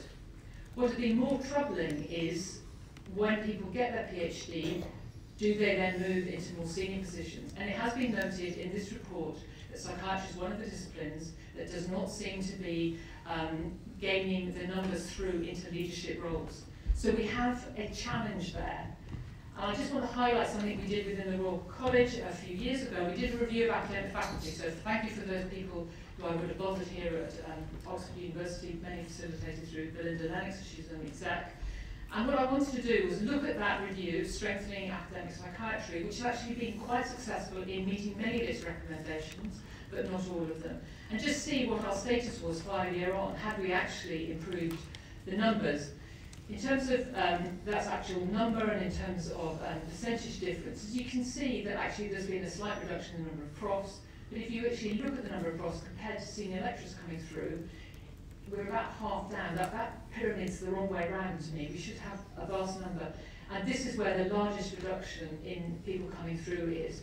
The most of the people who was in here have, were now being readers and on their way up, but it was a very small proportion. Now, the lack of senior lecturers has been highlighted across medicine. So that review run, led by the MRC has highlighted it. So you will be getting questionnaires and, and um, research into why people aren't transitioning through into more senior positions. But within the, what's very noticeable in the Medical Schools Council report was there's been a 24% drop in clinical academics, whilst our profession has increased in number 30, up 38%. So as we grow as a profession, we're losing the academic input from clinical psychiatrists. Asked by somebody quite senior in, in the system recently, I said, well, what would happen if we didn't have academic psychiatry? I said, where do you think innovation comes from, new evidence? If you don't have us, then there will be no innovations or limited innovations. So I was pleased that the Royal College actually put into its proposals for building on the NHS's five-year forward review that in 10 years' time we would have an increase in the number, reverse this sort of decline, we would have an increase in 50% of senior lecturer numbers. So that's an ambitious target, um, but I'm pleased to see that in there. And in addition, that every medical school should have be linked with an academic department of psychiatry. That is not the case at the moment in the UK. And even when there are academic departments and medical schools um, successfully sort of promoting psychiatry, the two aren't necessarily linked. So we want to see that happen as well. And this is the latest thing from the um, medical uh, schools review about clinic academic staffing levels. And they have highlighted for the last few years about the decline of psychiatry, but here they have also recommended, rather than looking down but looking outward, that in terms of parity, coming back to the lack of parity, is that the, um, the REF going forward, the decision making, we should be um, on a par, we should be receiving the same amount of money as our fellow clinical medics. You may not be aware that a clinical psychiatrist, we attract less money for our university compared to a clinical medic. Um, and clearly that has an impact on how your higher education establishments are going to invest. Why would you invest maybe in mental health and psychiatry if it's not going to bring in as much money in terms of your research?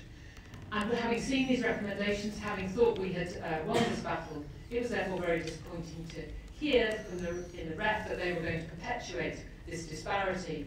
And so we have written a letter from Royal College, myself and uh, Wendy Burn, to uh, Professor Sir Mark Walport, explaining that we are disappointed in this and that we urge them to relook at it. So what I would say about academic psychiatry, it is fantastic. I think you know I have a lot to be grateful. A lot of people in this audience for. It's given uh, great career, given great care to very many people. I think we have made step change uh, improvements in care that we're delivering. But I think as an organisation and as a group of individuals, we have to pay attention to these uh, junior psychiatrists coming through, nurture their academic careers, as mine has been by many in this room, in order that we tackle some of these um, translational, these key steps up to senior leadership roles in order to sustain the truly excellent quality of, of research in the UK, um, because without that, clearly a lot of our patients' needs will not be met.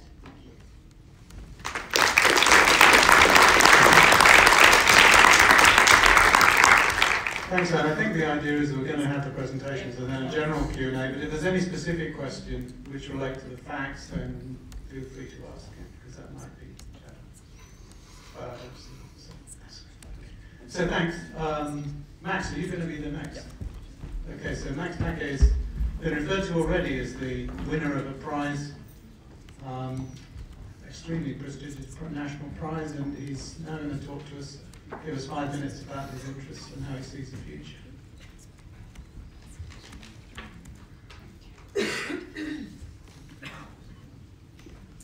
Okay, so I'm, a, uh, I'm an engineer by background, that means I'm a nerd by training, uh, and I sort of came into psychiatry after that. Um, and uh, as an engineer, probably it's not surprising to most of you that when I think about the future of academic psychiatry, I think of data and, and big data in particular.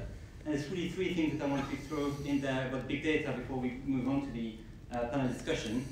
And the first thing is that big data is not only about big, uh, about big volume. Volume is a major uh, aspect of big data, of course, but it's not the only one.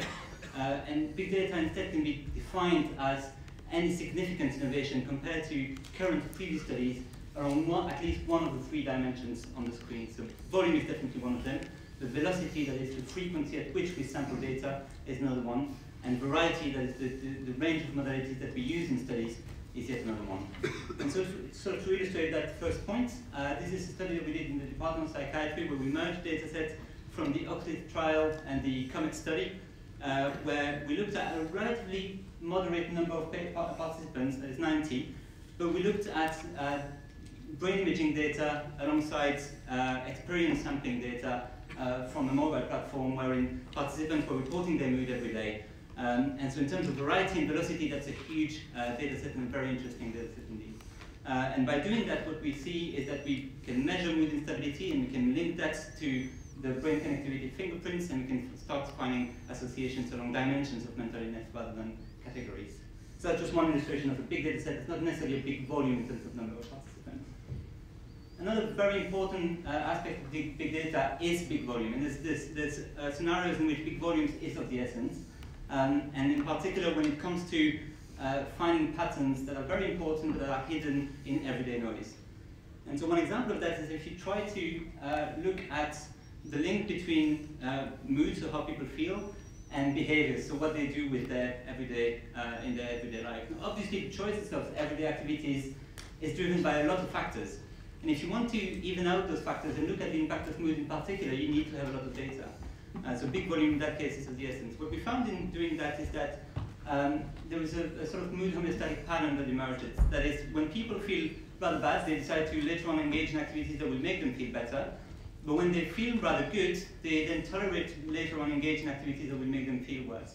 But more importantly, this pattern of mood homeostasis is completely lost when patients have, uh, when participants in the study have a past medical history of depression or when they have lower than average mood. And so that's what we showed using two large data sets, one in high income countries and one in low and, and middle income countries as well.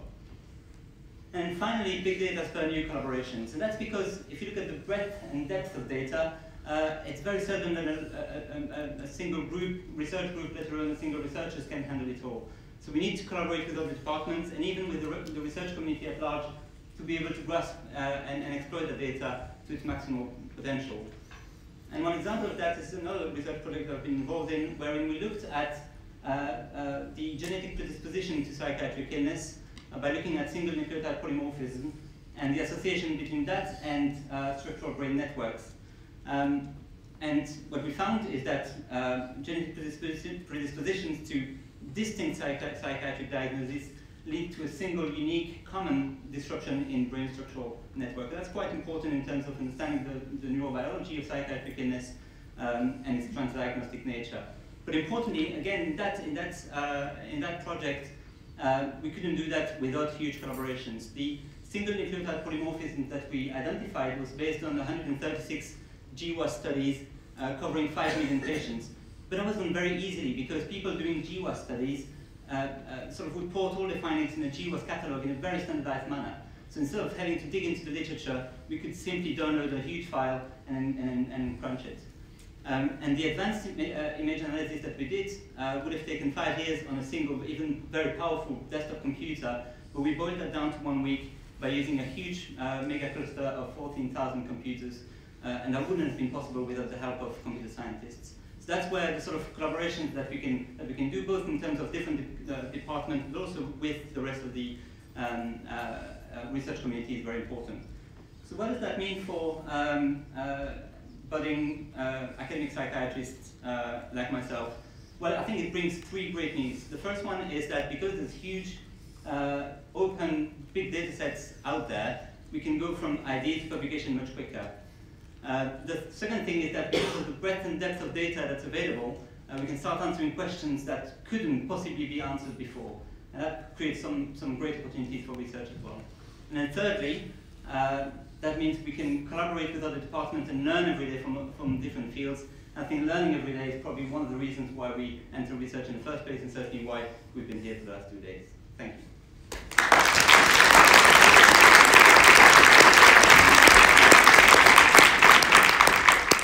Fantastic. So, Chris Pugh.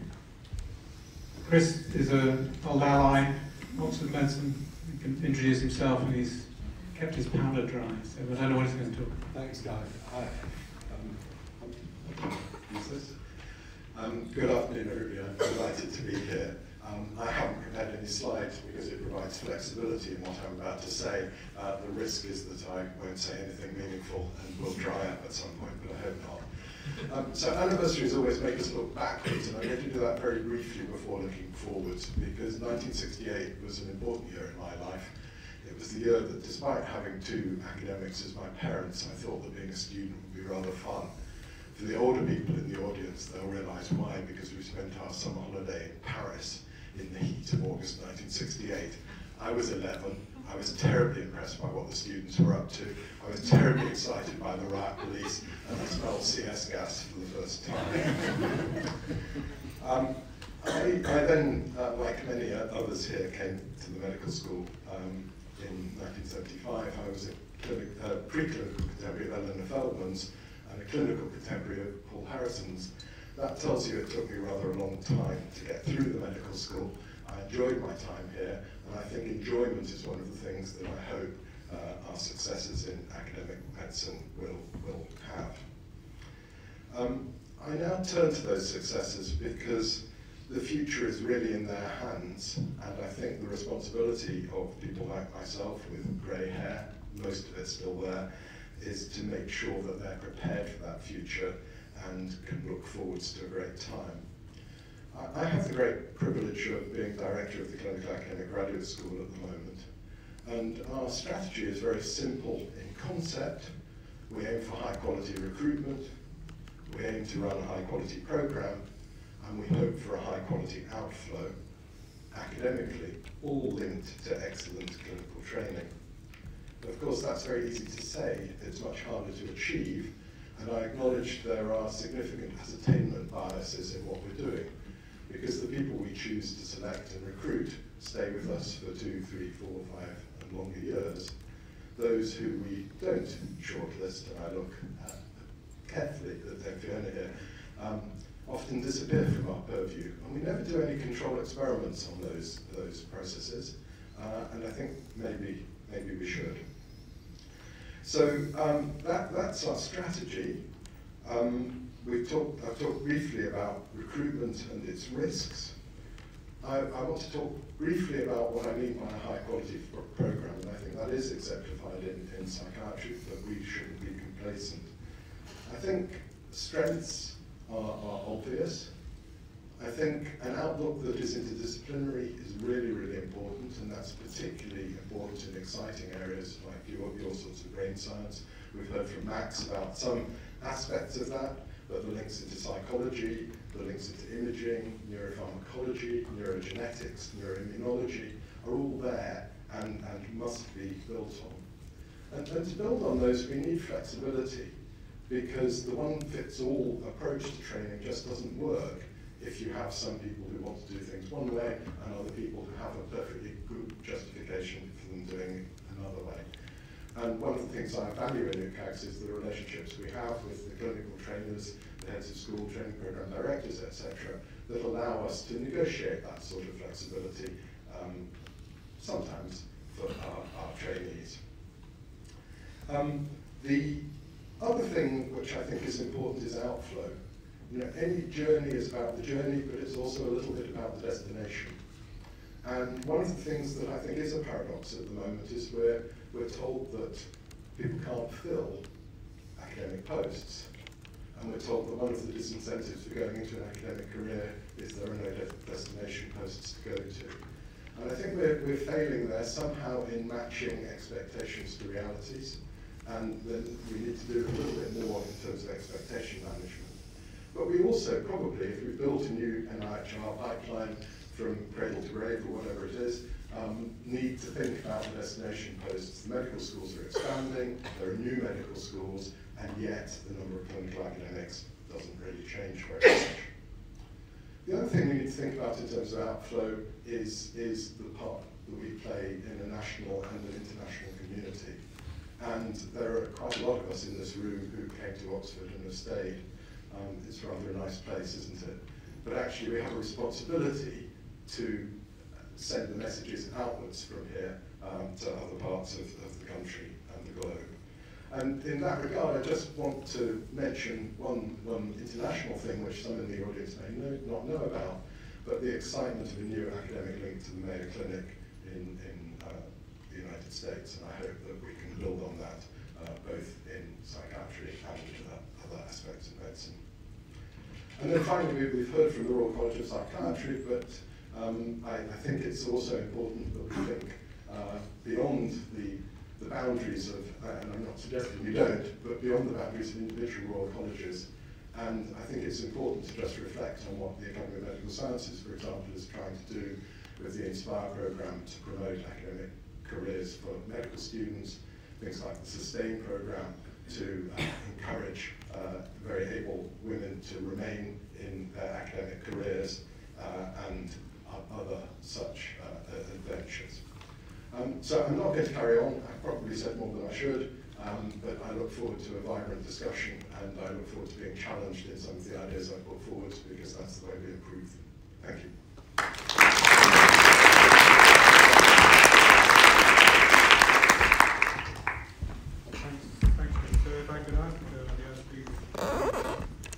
And if there are questions, please make yourself known to us and get us. You getting. So there's going to be microphones. You want a microphone? so any questions? Yeah.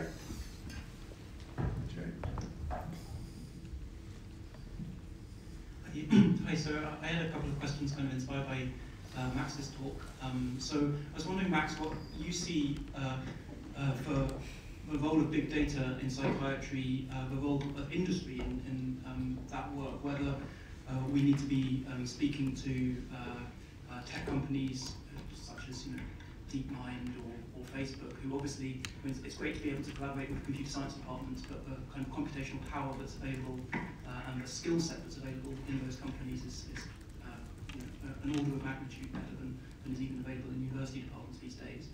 Um, and kind of more broadly to the rest of, of the um, panel, uh, what uh, role you see um, training in kind of quantitative skill sets uh, plays in, in the training of, of psychiatrists more broadly in, in general?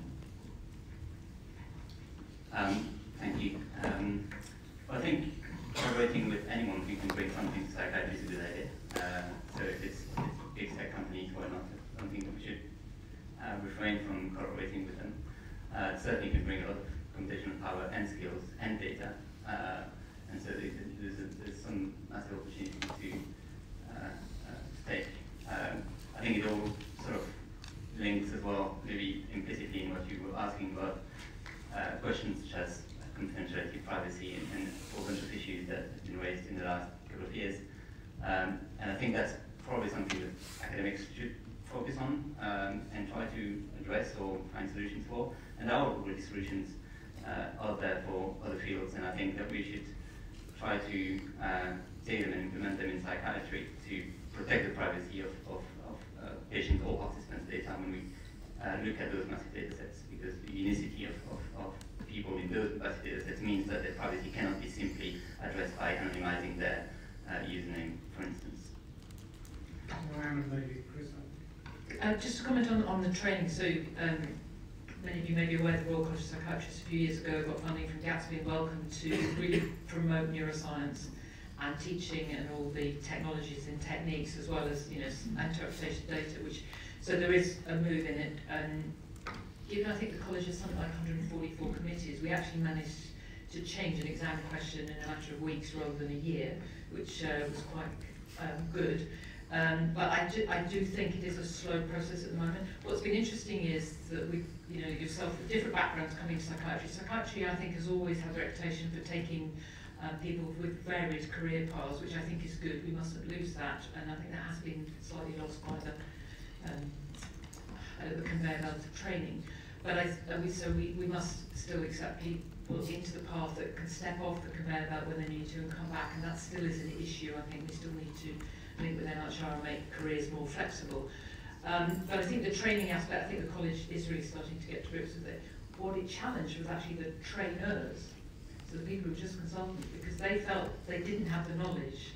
And so actually it's been really important to support them and deliver the training to the trainees actually. So we've missed out a good 10, 20 years. So um, they're trying to do a lot more work supporting them as well.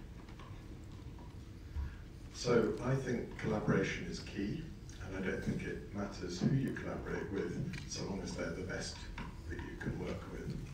And I think we have all sorts of concerns about confidentiality, we have concerns about being taken over by other people, pipped to the post and this, and the other. I think on the whole you gain much more from collaboration than you do from trying to work in a silo, and, and I thoroughly encourage that. And I think we've heard from Mike and others about the benefits of collaboration between physical and, and, and, mental health, uh, and you know there should be no, no limit to that. In, in terms of quantitative skills, I, I think they are vital. I, I can't remember who it was. Was it Rutherford or somebody else who said if you can measure it, you can study it?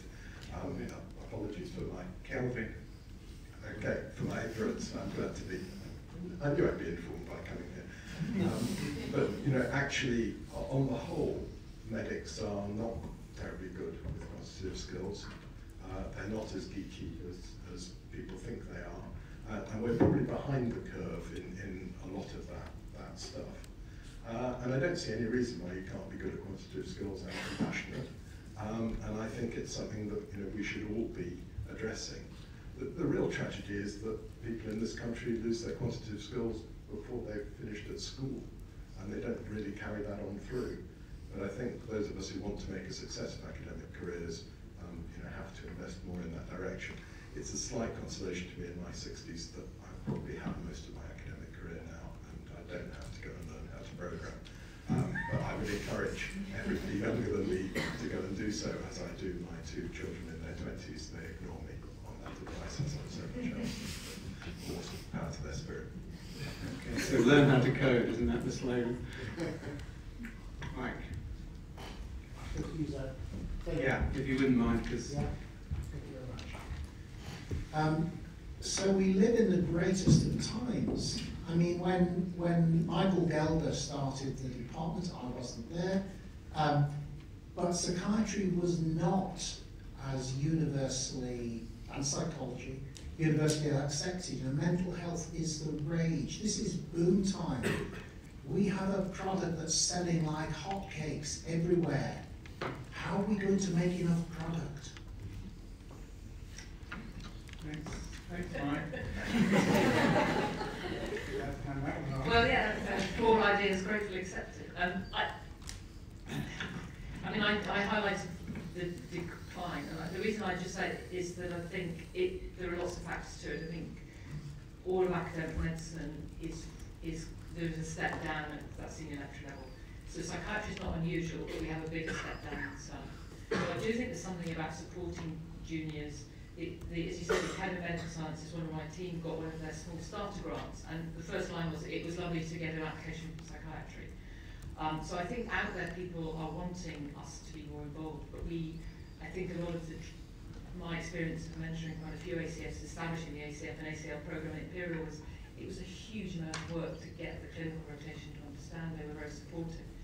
I think Oxford, you're, lucky, all, to me, having trained here, there was always that, you know, cross but unfortunately in the majority of trusts they see that somebody else does they think has no relevance to them. So I think we've still got to overcome that grassroots stuff. There is still huge areas of the UK that have no academic psychiatrists that is easily identifiable for a medical student at that medical school. Um, I thought a quick and easy thing would be just go on everybody's website, medical schools, find out who was the key head of psychiatry.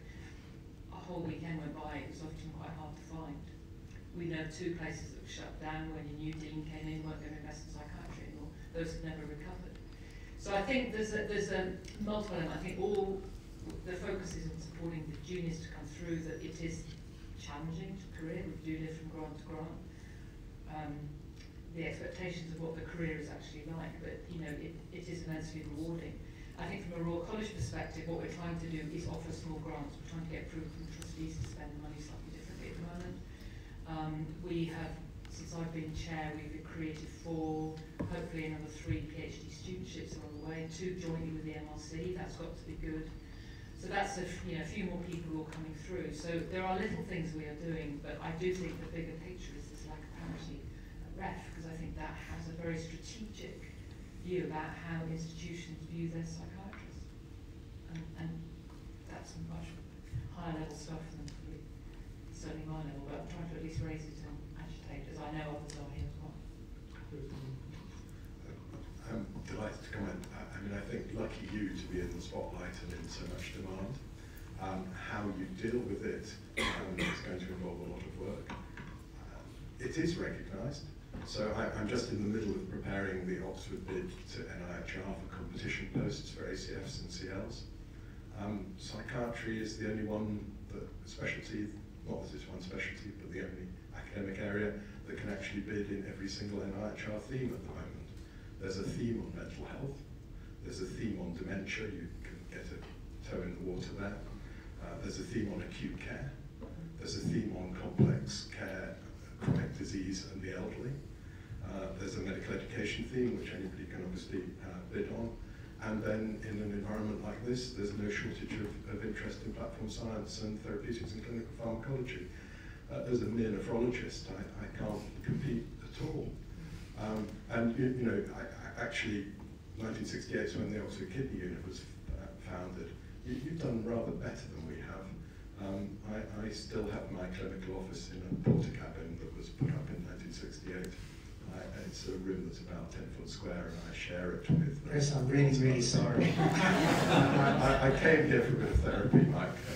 Uh, anyway, uh, enough of that. But I, you know, I think I think the future is is bright. I think it's great that there are the reports. I think there's a lot of goodwill, um, and I think we need to work on it on it together. And um, I'm grateful Kate's been contributing to to that component of the bid that is psychiatry. Uh, just, just a, maybe a small thing. Um, I think it, I was shocked when I arrived in medicine that it was there was a recruitment crisis in psychiatry, and it was difficult to recruit people because my experience from before was that it was very easy to recruit any engineer to any psychiatric project on neuroimaging or otherwise. Um, so it's something that fascinates a lot of people, and surprisingly, it's only starting to fascinate a lot of medical doctors as well. Um, not, that it, not that it didn't fascinate any doctors before, but it's starting to, to grow. And I think we can also leverage that aspect of the workforce that is um, psychologists, neuroscientists, engineers, computer scientists, that, that all have a, an immense interest in mental illness and psychiatry. So any other, any other questions? Any other comments? Maybe, maybe we could return to this issue of, of stigma, uh, which uh, Dave alluded to. And, uh, and yesterday the, the, comment was made uh, by the Alliance of Psychiatry that the battle to kind of improve uh, stigma was to some extent won by deforming our ideas of what psychiatric disorders were to fit the general population's perception which is a victory in one way, but it's a Pyrrhic victory because it actually doesn't do justice to the true severity and challenge of people with severe mental disorder. And I wonder whether what your perceptions of that were from the college on the one hand, and then as kind of people standing a little outside this on the other. Yeah, I think it's. I mean, I'm not speaking of the Royal College at all, and I alluded to the, stigma reading in the Sunday paper about opioid epidemic crisis. And so I work in addiction, which um, has actually now been kicked out of the NHS pretty much. Um, and uh, you know, there it's it's a real difficulty. Um, I think we still have a lot of work to do with that, and I think the complexity of the issues. I think if you, it's interesting the debate about trauma recently because of pretty much all of my patients, my clients, the language I use in the service now, um, have you know have had the history of trauma, and until you mention the drug misuse, people are very sympathetic, and as soon as you mention that, it's written off. And as some politicians said, you know, nobody ever comes up to me in the street during elections and asks me to put more money into treating addicts.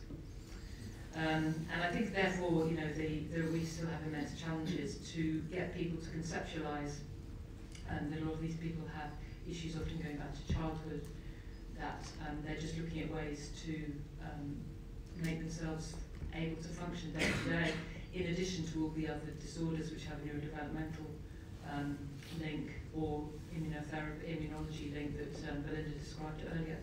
I am still distressed to hear organic versus functional being mentioned, particularly when a neurologist said, um, we, we deal with the organic, you deal with the functional. I can say the two psychiatrists on either side of you, or we kind of got ready to counter that, because I think that perpetuates and is still um, incorrect. I saw recently a doctor write as usual, psychiatry ran ahead with medications for disorders before understanding them. And I thought actually that applies to most events and we don't often understand. So I think there's a lot to be done still within our profession, sadly. The parity was mentioned. Um, I give a couple of examples. I'm still dismayed by that.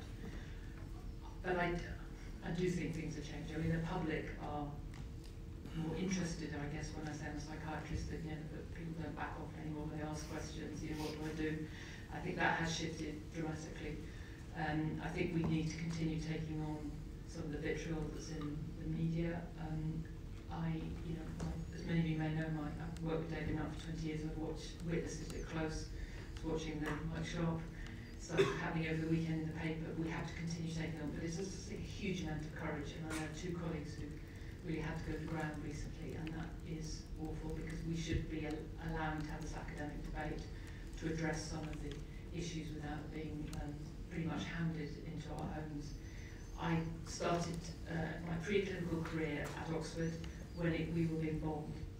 So, um, you know, I, we were given an emergency because people were trying to stop us doing preclinical, and it almost feels sometimes we have, fortunately haven't got quite that far, although I know some people have had death threats. And I just don't understand the place of that. We should be allowed to have these debates. They should be out in the public domain. Um, and I hope, you know, there are enough people continue with that, you know, courage to take on the debate.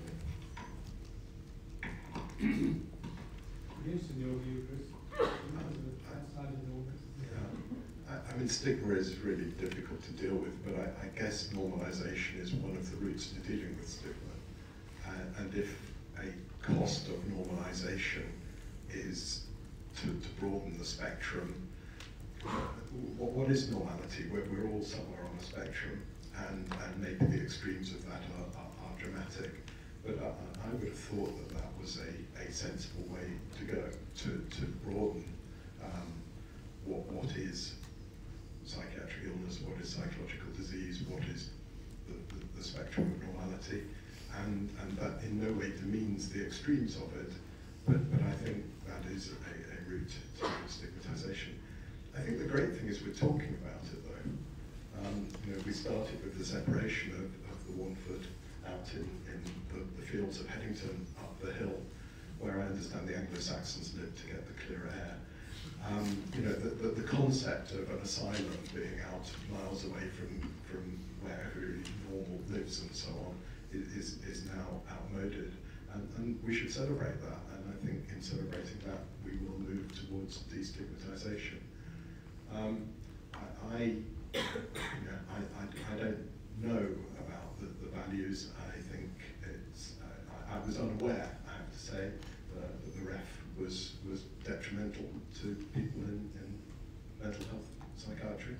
Um, I can see no justification for that. Um, I suppose from the prejudiced view of somebody who I don't think it exists anymore, but uh, mental health officer protection and retirement five years earlier, and this, that, and the other. You know, maybe we look out of out of windows in one direction and see what we want to see, and we don't look through windows in the other direction and see what's visible to others. Um, so I think I'll shut up before I say anything more controversial, um, and encourage Max to say something uh, uplifting about the future, um, where it will all be destigmatized and will still allow some of us to excel, or some of you to excel. I think I, uh, maybe adding something on something that's close to home in terms of stigma, there's also the stigma of psychiatrists, there's well, towards psychiatrists themselves than towards patients, um, which is something that we, most of us would have encountered some stage of care. Um, so I sort of knew from during the placement that Kate is not leading in psychiatry that I wanted to do the psychiatry. Uh, but for perhaps a year, um, when people were asking what do you want to do, I would always say, well, psychiatry or neurology. And people would jump to neurology and say, oh yeah, neurology is great. Um, and, um, and, and, and I started, when I started my foundation post, I started to say I want to do psychiatry because that's clearly what I want to do. Um, and it's quite interesting because then you start engaging in discussions and, and you get a whole bunch of comments and, and you know some, some pleasing, some not so, not so much. Um, but it's good because then you, you can start combating uh, the stigma on the ground as well. Uh, and in, you know, when you hear things like, oh, why do you want to do psychiatry, you can just try to explain and you can, you can debate those, those, those reasons. And uh, when, you, when you hear stigmas, just you're too smart to psychiatry, to, why? And, and you start engaging those discussions, you say, well, do you think do you think psychiatry doesn't need doesn't need smart people? And say, well, sure they do. And then you realize they, they're contradictions, and I think that's one way of, of fighting stigma uh, as a doctor. Thanks, Max. We're, we're glad you're here, I have to say. um, so, I mean, it's been a longish day, and yesterday was a very long day. So, uh, is there any further point or question people would like to make at this point? Go and go and go. Mike. I hate to ask a second question, but Is it a question? That's yes, this is the 50th anniversary. Come the 100th anniversary, some of us may not be here, but for those of us that are, what will the University Department of Psychiatry, not necessarily the building, what will the activity look like? I think John's going to answer that question. Oh, good. But, uh, but, but obviously we'll, we'll throw it open to the panel because uh, their imaginations may be stimulated. Actually, only Max is going to be here. So 50, yeah, even you are going to have to do well. But you should, you should, you should be here. I mean, yeah, you may, yeah, you'll get that, well, you won't get that double retirement dose that Chris was alluding to, I'm afraid, because that's long gone. Well, it's difficult to say. I don't think that because I'm young, I'm better positioned to answer questions. Probably, probably the other way around. Uh, I'm just hoping that we carry on doing the great work that's been done for the past 50 years and improving on that, uh, uh, gaining more evidence, getting more treatments. There's been uh, a huge number of very inspiring talks over the last two days on, on great and, and diverse avenues of, of, of new treatments to uh, target specific aspects of mental illness. And I think we can on doing that in finding markers and and using data alongside models and, and, uh, and uh, building on great theory that's been uh, uh, demonstrated its effects so far. So that's what I see for the future. Thank you very much. So I think, I think probably, does anyone want to say anything else? I mean, or Mike a third? I mean, it's a free, it's a free market night here. Yeah, okay. Okay, well. Okay, okay. So I'll say thank you very much to our speakers, our panel. Uh, it was great to have you all three. Thank you very much for coming for so far. Great to see you again.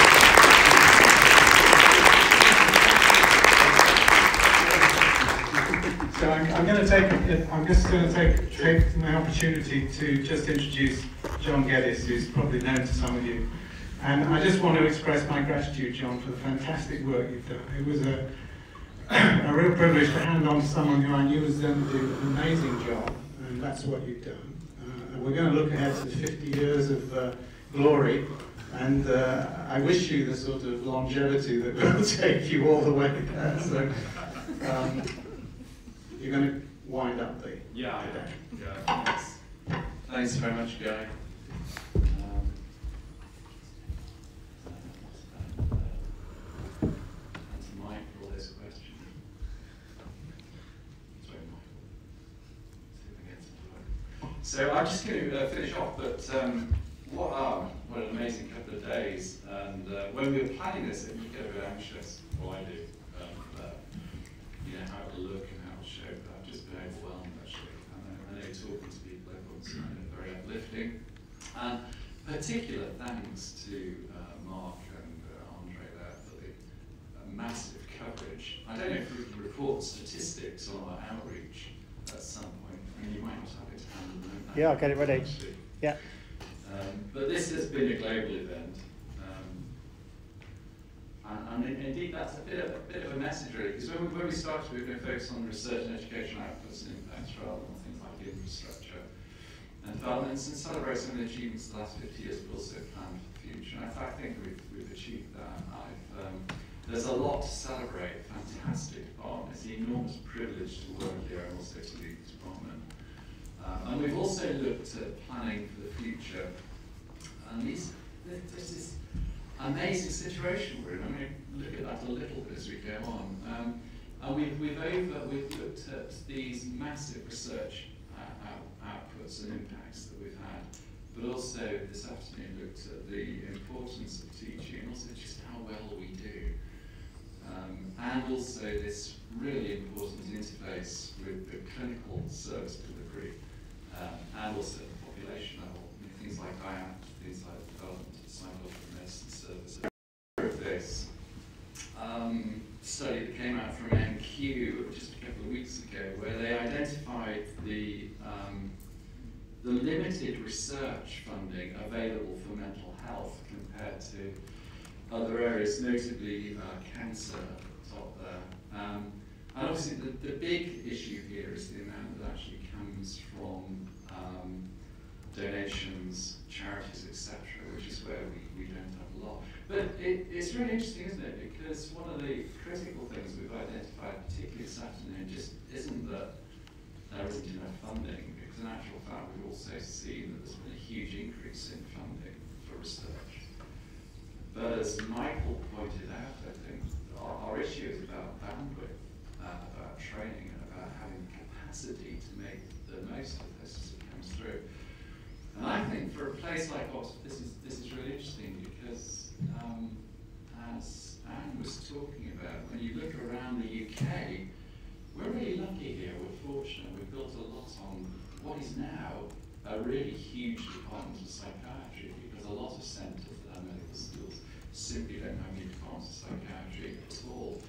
But also, as, as you know, doing research in this area is complicated. Uh, it's not something that is best necessarily left to psychiatrists. You need clinical academic psychiatrists. Just as Guy, as Emily pointed out, brought non-clinicians, trans what we call translational psychiatrists into the department, it's critically important that we have uh, full engagement with scientists uh, to do the most powerful research we can. And of course, we saw from George Pickering's report back in 1960 that that was always the bedrock of this of psychiatry was the real strengths of Oxford biomedicine, and we put out it goes beyond biomedicine, all the way into the humanities and beyond.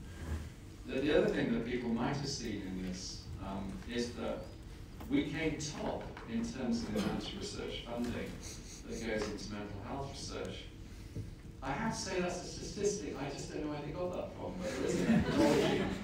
Uh, and I know we get a reasonable amount of funding, but I didn't realise we came uh, to the top. And I think actually that does depend a little bit on how you cut the cake.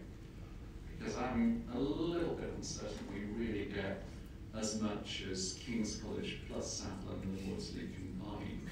And even if you add those together, we still do better than that. So I, I think talking to Niall yesterday, who has some insight into the methodology, it's because it depends on how you count the amount of preclinical neuroscience work that goes on in Kia's department and across the other departments of, of Oxford. But clearly we increasingly find, um, you know, because it is complex research to do, you need a certain amount of infrastructure, a certain amount of kit. Look at just how important it has been to develop things like the Oxford Centre for Human Brain Activity at the, uh, the Warneford site, where this is a real inspiration to research because it gives proximal access to really cutting edge infrastructure and it brings more funding in. Um, so I will get somewhere because you know at the moment there's a bandwidth problem. We're doing okay for funding. We need to see that grow and there is more funding coming. So actually my finger is on the bandwidth problem as being our critical uh, issue. Um, now, we weren't going to start off talking about infrastructure, but I think I do have to point my finger to one amazing opportunity that we have in Oxford, and that is this, um, what Chris was talking about, this, um, and Michael was this hospital up on the hill in the countryside. Of course, it was in the countryside, that's the Warneford Hospital, which there it is, sort of from the early years of the century. Uh, Guy, actually, that was uh, taken by Guy Goodwin out of his office window, the cricket match just before he left. Before the war, I think so. because what happened after that was that the hospital built um, the new adolescent unit on there. So I inherited a rather different view from that uh, bucolic uh, country. But this, this is the hospital that was built, uh, founded in 1821. Um, the foundation stone laid on the 27th of August, initially funded by the university. It was actually uh, Trinity College, which kicked off the whole thing. It was renamed the Warneford Lunatic Asylum and then uh, latterly the Warneford uh, Asylum and then the Warneford Hospital. And it's a, an amazing site, 21 and a half acres. Um, there it is. Uh, Noel provided me this when he was um, in a hot air balloon over the Warneford Hospital. Sometimes when you wonder where Noel is, just um, he'll be up there. Noel, are you here at the moment? Or? You know where he in is. so, nice site. What you can see down there, what's my top uh, right-hand corner, this collection of green buildings, is this remarkable development because the geography of Oxford is um, working for us at the moment because we are one of the, uh, we are the bottom left red point there, which is the Warneford Hospital, and the John Radcliffe is the top red dot there. And then we've got the NOC and the Churchill Hospital. So we've got this amazing uh, congregation of hospitals in Headington, which gives us an amazing opportunity. And then even when we talk about down the hill and all the preclinical departments, they really are only a mile away. So down there to the uh, left. Um, and this is what happens if you map the various centres, institutes, and external funding onto that map of Oxford. An astonishing uh, resource of external investment and centres of excellence. This is just the site of the Old Road campus, and when, when I came here in, in 95, most of that was, I think the Oxford um, District Health Authority was based there, but there's very little else actually. Muir Grey was often to be found down there. Um, it is now completely full because the Wellcome uh, Centre for Human Genetics was built in 1999, Richard Doll building 2005, Old Road Campus Research Building 2008. I could go on, um, and um, but I won't. And it's almost full. We're just currently building the Institute for Developmental and Regenerative Medicine, the Vaccines, Immunology and Infections. And uh, I, I met uh, a donor yesterday in the Bioescalator, which is an amazing building out there. So that site's full, uh, but it is just at the bottom of the garden from the Warneford Hospital. There is probably nowhere else on the planet where people are trying to do mental health related research with that amount of expertise within five minutes walk. And that's an opportunity that we can't afford to squander. Um, so we are going to build a new hospital now. Uh, it'll be a new academic base, not just for psychiatry, but for colleagues from experimental psychology and from uh, neurology, particularly the uh, colleagues from the, the neuroimaging community. It'll have embedded commercial partners, uh, and, it, and within the Warneford will be the Medical Sciences HQ. So one solution to having separation between medicine and uh, the rest of medicine and brain will be actually to move the centre of Oxford medicine onto the Warneford site. You can see as that, uh, particularly the Old Road campus becomes the centre of the activity for the University Medical Sciences Division, it makes a lot of sense. Already Gavin spends a lot of his time in the uh, Richard Doll building um, because that's where his colleagues increasingly are. Uh, within mental health, we've got these amazing scientific pipelines. Um, at the same time as we're developing the Warneford site, um, although it was unfortunate when Tinbergen was found to have asbestos, it has provided a wonderful opportunity to develop it, and Kia and her colleagues are driving that along just as we've got the uh, Sherrington and the HK2 developments. So all of this is beginning to give us the most remarkable uh, scientific infrastructure. And then we've got uh, this integrated leadership across Oxford that brings together the university, Oxford University Hospitals, Oxford Health, NHS Foundation Trust, and Oxford Brookes that so far have made wonderfully constructive um, decisions about uh, how to engage with external funding strategically. That's really important for us. Um, we work with two hospitals, at least two hospitals within Oxford, Oxford University Hospitals and Oxford Health NHS Foundation Trust. And that uh, always has been the case and obviously has to continue to be the case. So our plan is simple. Um, it is that we keep having great ideas. Um, because, as everyone knows, that's the route to doing great science. Um, we've already heard about the importance of collaboration, and I've stressed, I think, that we simply cannot expect psychiatrists to do it all themselves. We do need to uh, link in and collaborate with those wonderful scientists and others across Oxford and beyond. And collaboration isn't always easy. Know, in some ways, it's easy to sit in your office with your head down and focus on what's in front of you and try to think it out, but it's nearly always the wrong thing to do. Um, so I, I would urge everyone to collaborate widely and uh, uh, err on the side of excess uh, rather than otherwise. This, this bit's really important as an academic you have to learn to absolutely thrive on rejection. Um, because you're going to get rejected a lot. I, I don't know of any other area of uh, mental, uh, of, of human activity where one can fail so often. Look at the uh, success and failure rates on grants. You, you know, you, you, you, you, you're not going to win most of the time, and, and you just have to accept that. So you, it, it is so important to learn from failures and success, but also support each other when we do that. You know, we all fail, um, and we all learn a huge amount from it. And I, I still think it's one of the most important lessons and skills that you have, is the ability to turn around in the face of rejection and to reuse it and to move on and, and to just make something better. Um, it's really important as we start developing the One Foot Plan to keep growing, and that's growing scientifically because the science has to grow. You know, we've heard about from Max the, the, the future about the importance of big data, and the science and the data and the problems just get bigger and bigger, so we need to improve our science and keep growing. We, we need to keep growing physically. The department has doubled uh, in terms of its research income over the last 10 years. needs to keep growing because what I don't want to do is to move the department into a brand new place and find that we've still got to fill it. You know, so we've, we've got to drive up the income. And the only way we're going to really create critical mass for creating clinical scientists, the translational scientists of the future, is by growing uh, them ourselves. Because as we've heard from Anne, we're one of the few centres that can actually do that. Most places simply don't have the capacity to do it.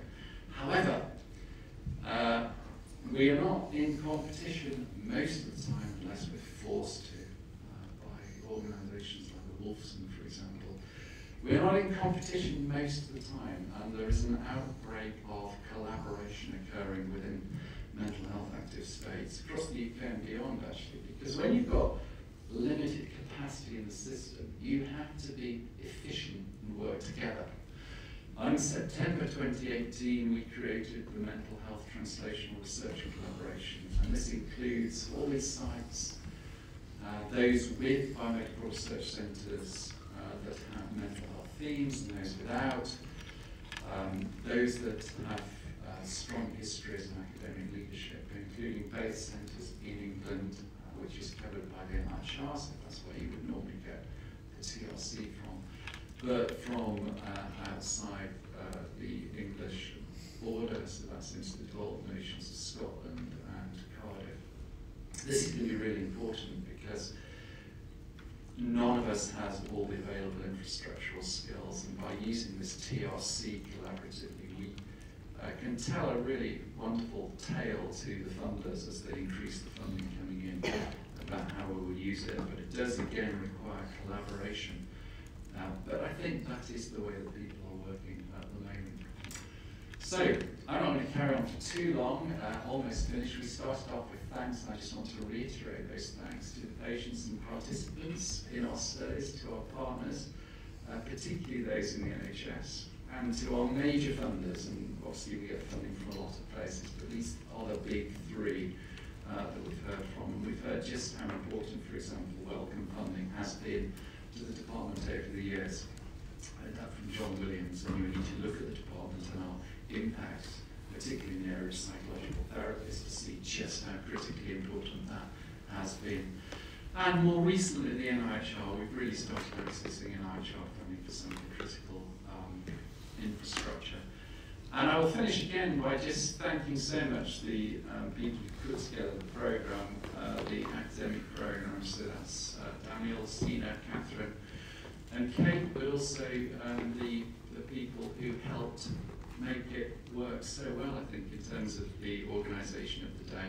So that's Moira, Elizabeth, Sharon. And Katie, of course, has masterminded all the, um, the, the, publicity and the communication strategy around it. Um, and we work very closely with the Mental Elf, so that's Andre and Mark. And I don't know if you've got the figures for us about what kind of global impact we've had. yeah, so um, anything over 10 million impressions is really good for a conference of this size. Uh, we've got 35 million impressions over the two days. Yesterday was much more um, engaging than today. Sorry, but you know, the figures can't lie. Um, I Big think data. Yeah, I think people online are more interested in psychotherapy than they are in some of the stuff that's been discussed today. But the numbers are really, really good. Uh, 553 people have sent 2,500 tweets. That's, yeah, amazing for an event like this, of this size. So thanks very much and thanks again. So I know we've got a lot of material that we'll be able to use for for podcasts and for videos and everything else. And I've just been completely blown away actually by the, the, the skill with which you've kind of in real Thank you. time added value to what we've been talking about here. And so we'll be looking forward to working with you to, to maximise the impact on it. And on that note, again, thanks to everyone for sticking with us over the couple of days, Thanks very much.